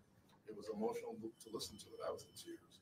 When you talk about exactly the juxtaposition of what the parents were doing and the complete opposite of how it was felt with being a true victim, not the victims that, that the Crumbleys portrayed themselves to be. But it was just, that's just gut wrenching. multiple parents the last couple of weeks have told us personally how disappointed and how upset they are. I think actually that Madisyn Baldwin's family called it disgusting how Jennifer Crumbley said that she wouldn't do anything differently if she could go back. Interestingly, today it seemed as though she tried to backtrack on that and say that people misunderstood her during her trial. Do you think that she was misunderstood during her trial? No, I think what came out on video, on the road, was exactly what she felt at the time, and only in retrospect that it's gotten such backlash that she tried to backtrack. That was who she was. Thank you so much for your time. We really appreciate it.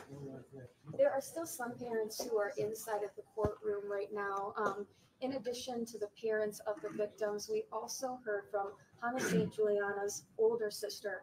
That was extremely powerful testimony. She looked James and Jennifer Crumbley in the eye and she said that you are responsible for buying the bullets and providing the gun that killed my sister. She talked about how it's hard for her to even find happiness ever since then because her sister was happiness.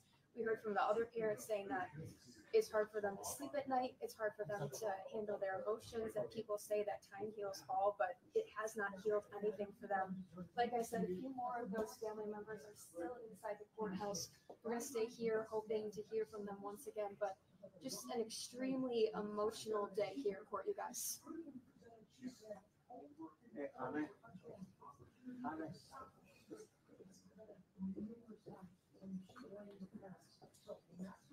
give me the mic? Can you give me the mic? Give me the mic. The mic.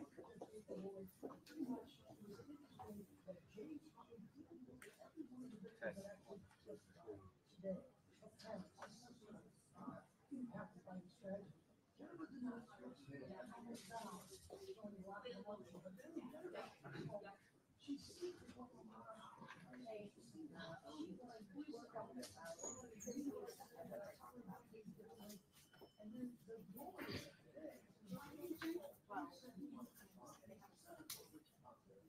one, two, one, two,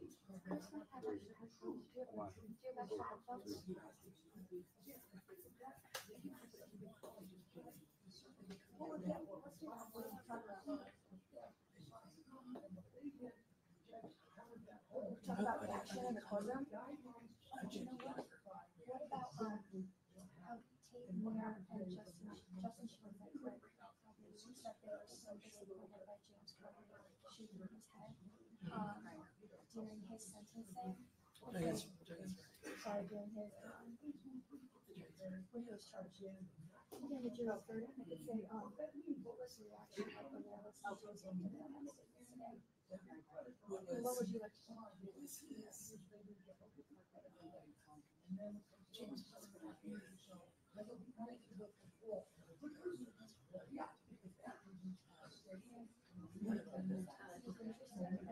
Um, um, uh,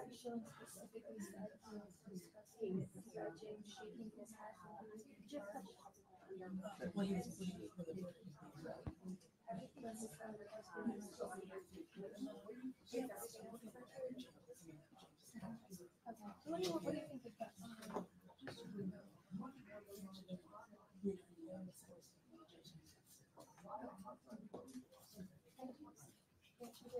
Feelings in general, that Portland feel. Yeah.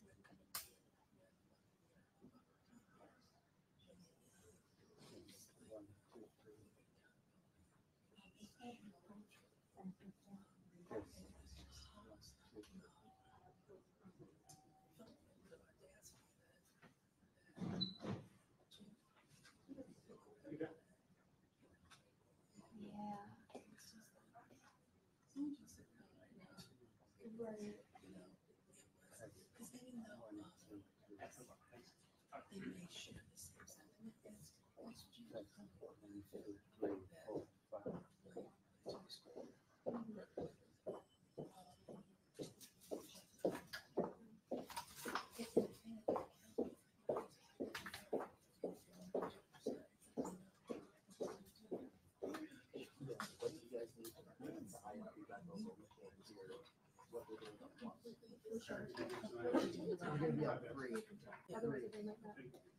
If they need us, they don't worry about I really want to see you. That'd be cute. Uh, we can go, I want to tell them that we can go live again.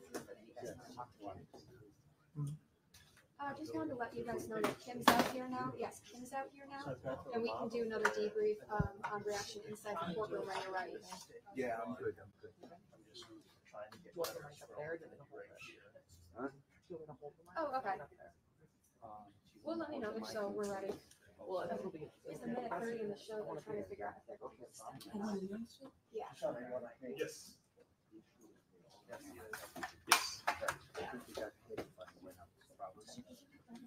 I'm not gonna touch this, Eric. So just use your, your stick is, Yeah, just use the stick. Yeah. So just come over here. uh, Yeah. Now, right now, it's, uh, the mic. Yeah. No, One side. Well, Yes. I don't need to be holding it, like if I No, gotta no, get, yeah. So, but if there's a mic. Right, so we don't need this then. Only if you go one on one.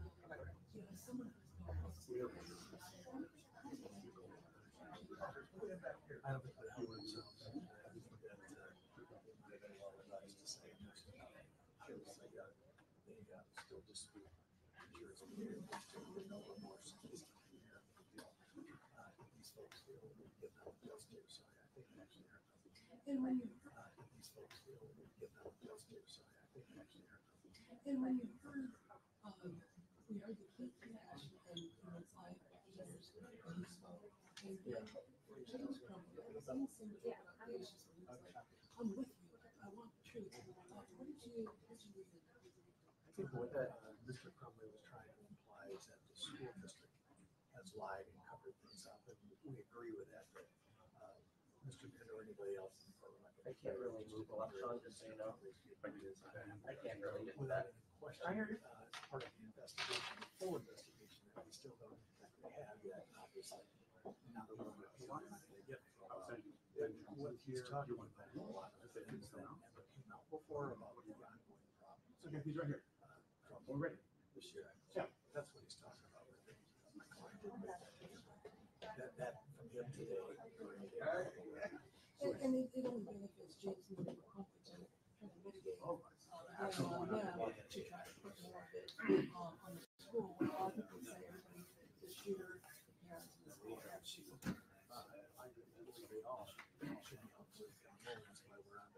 phase four and five, right? So that's exactly what our families split fast have from day one, they're with everybody. We're ready. All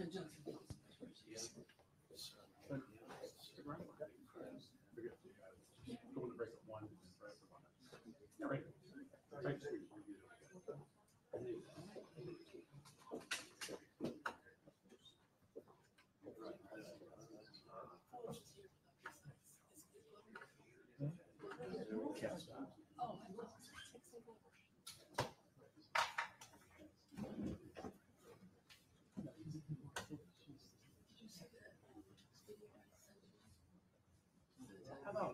No, I just said that.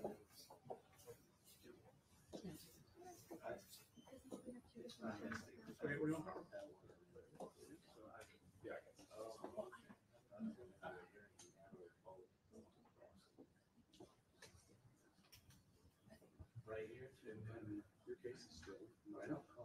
still, going. And that's, uh, with that.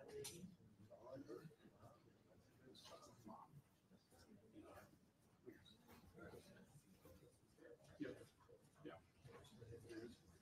So eventually, when the families do come out, you absolutely right.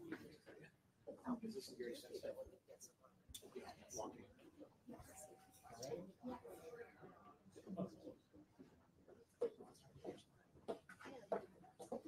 I got it. Okay, good.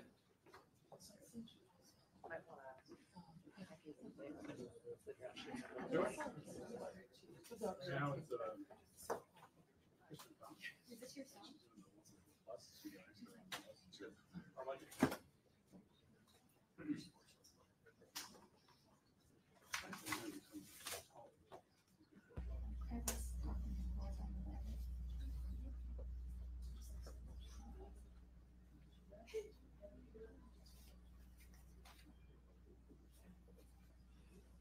Those pictures that you mind before we go back?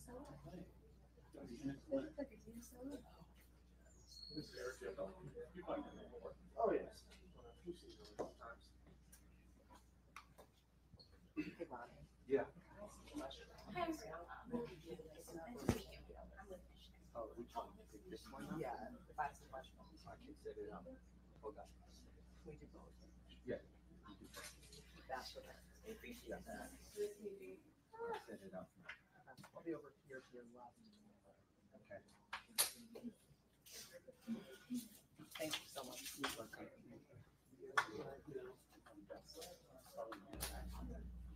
Can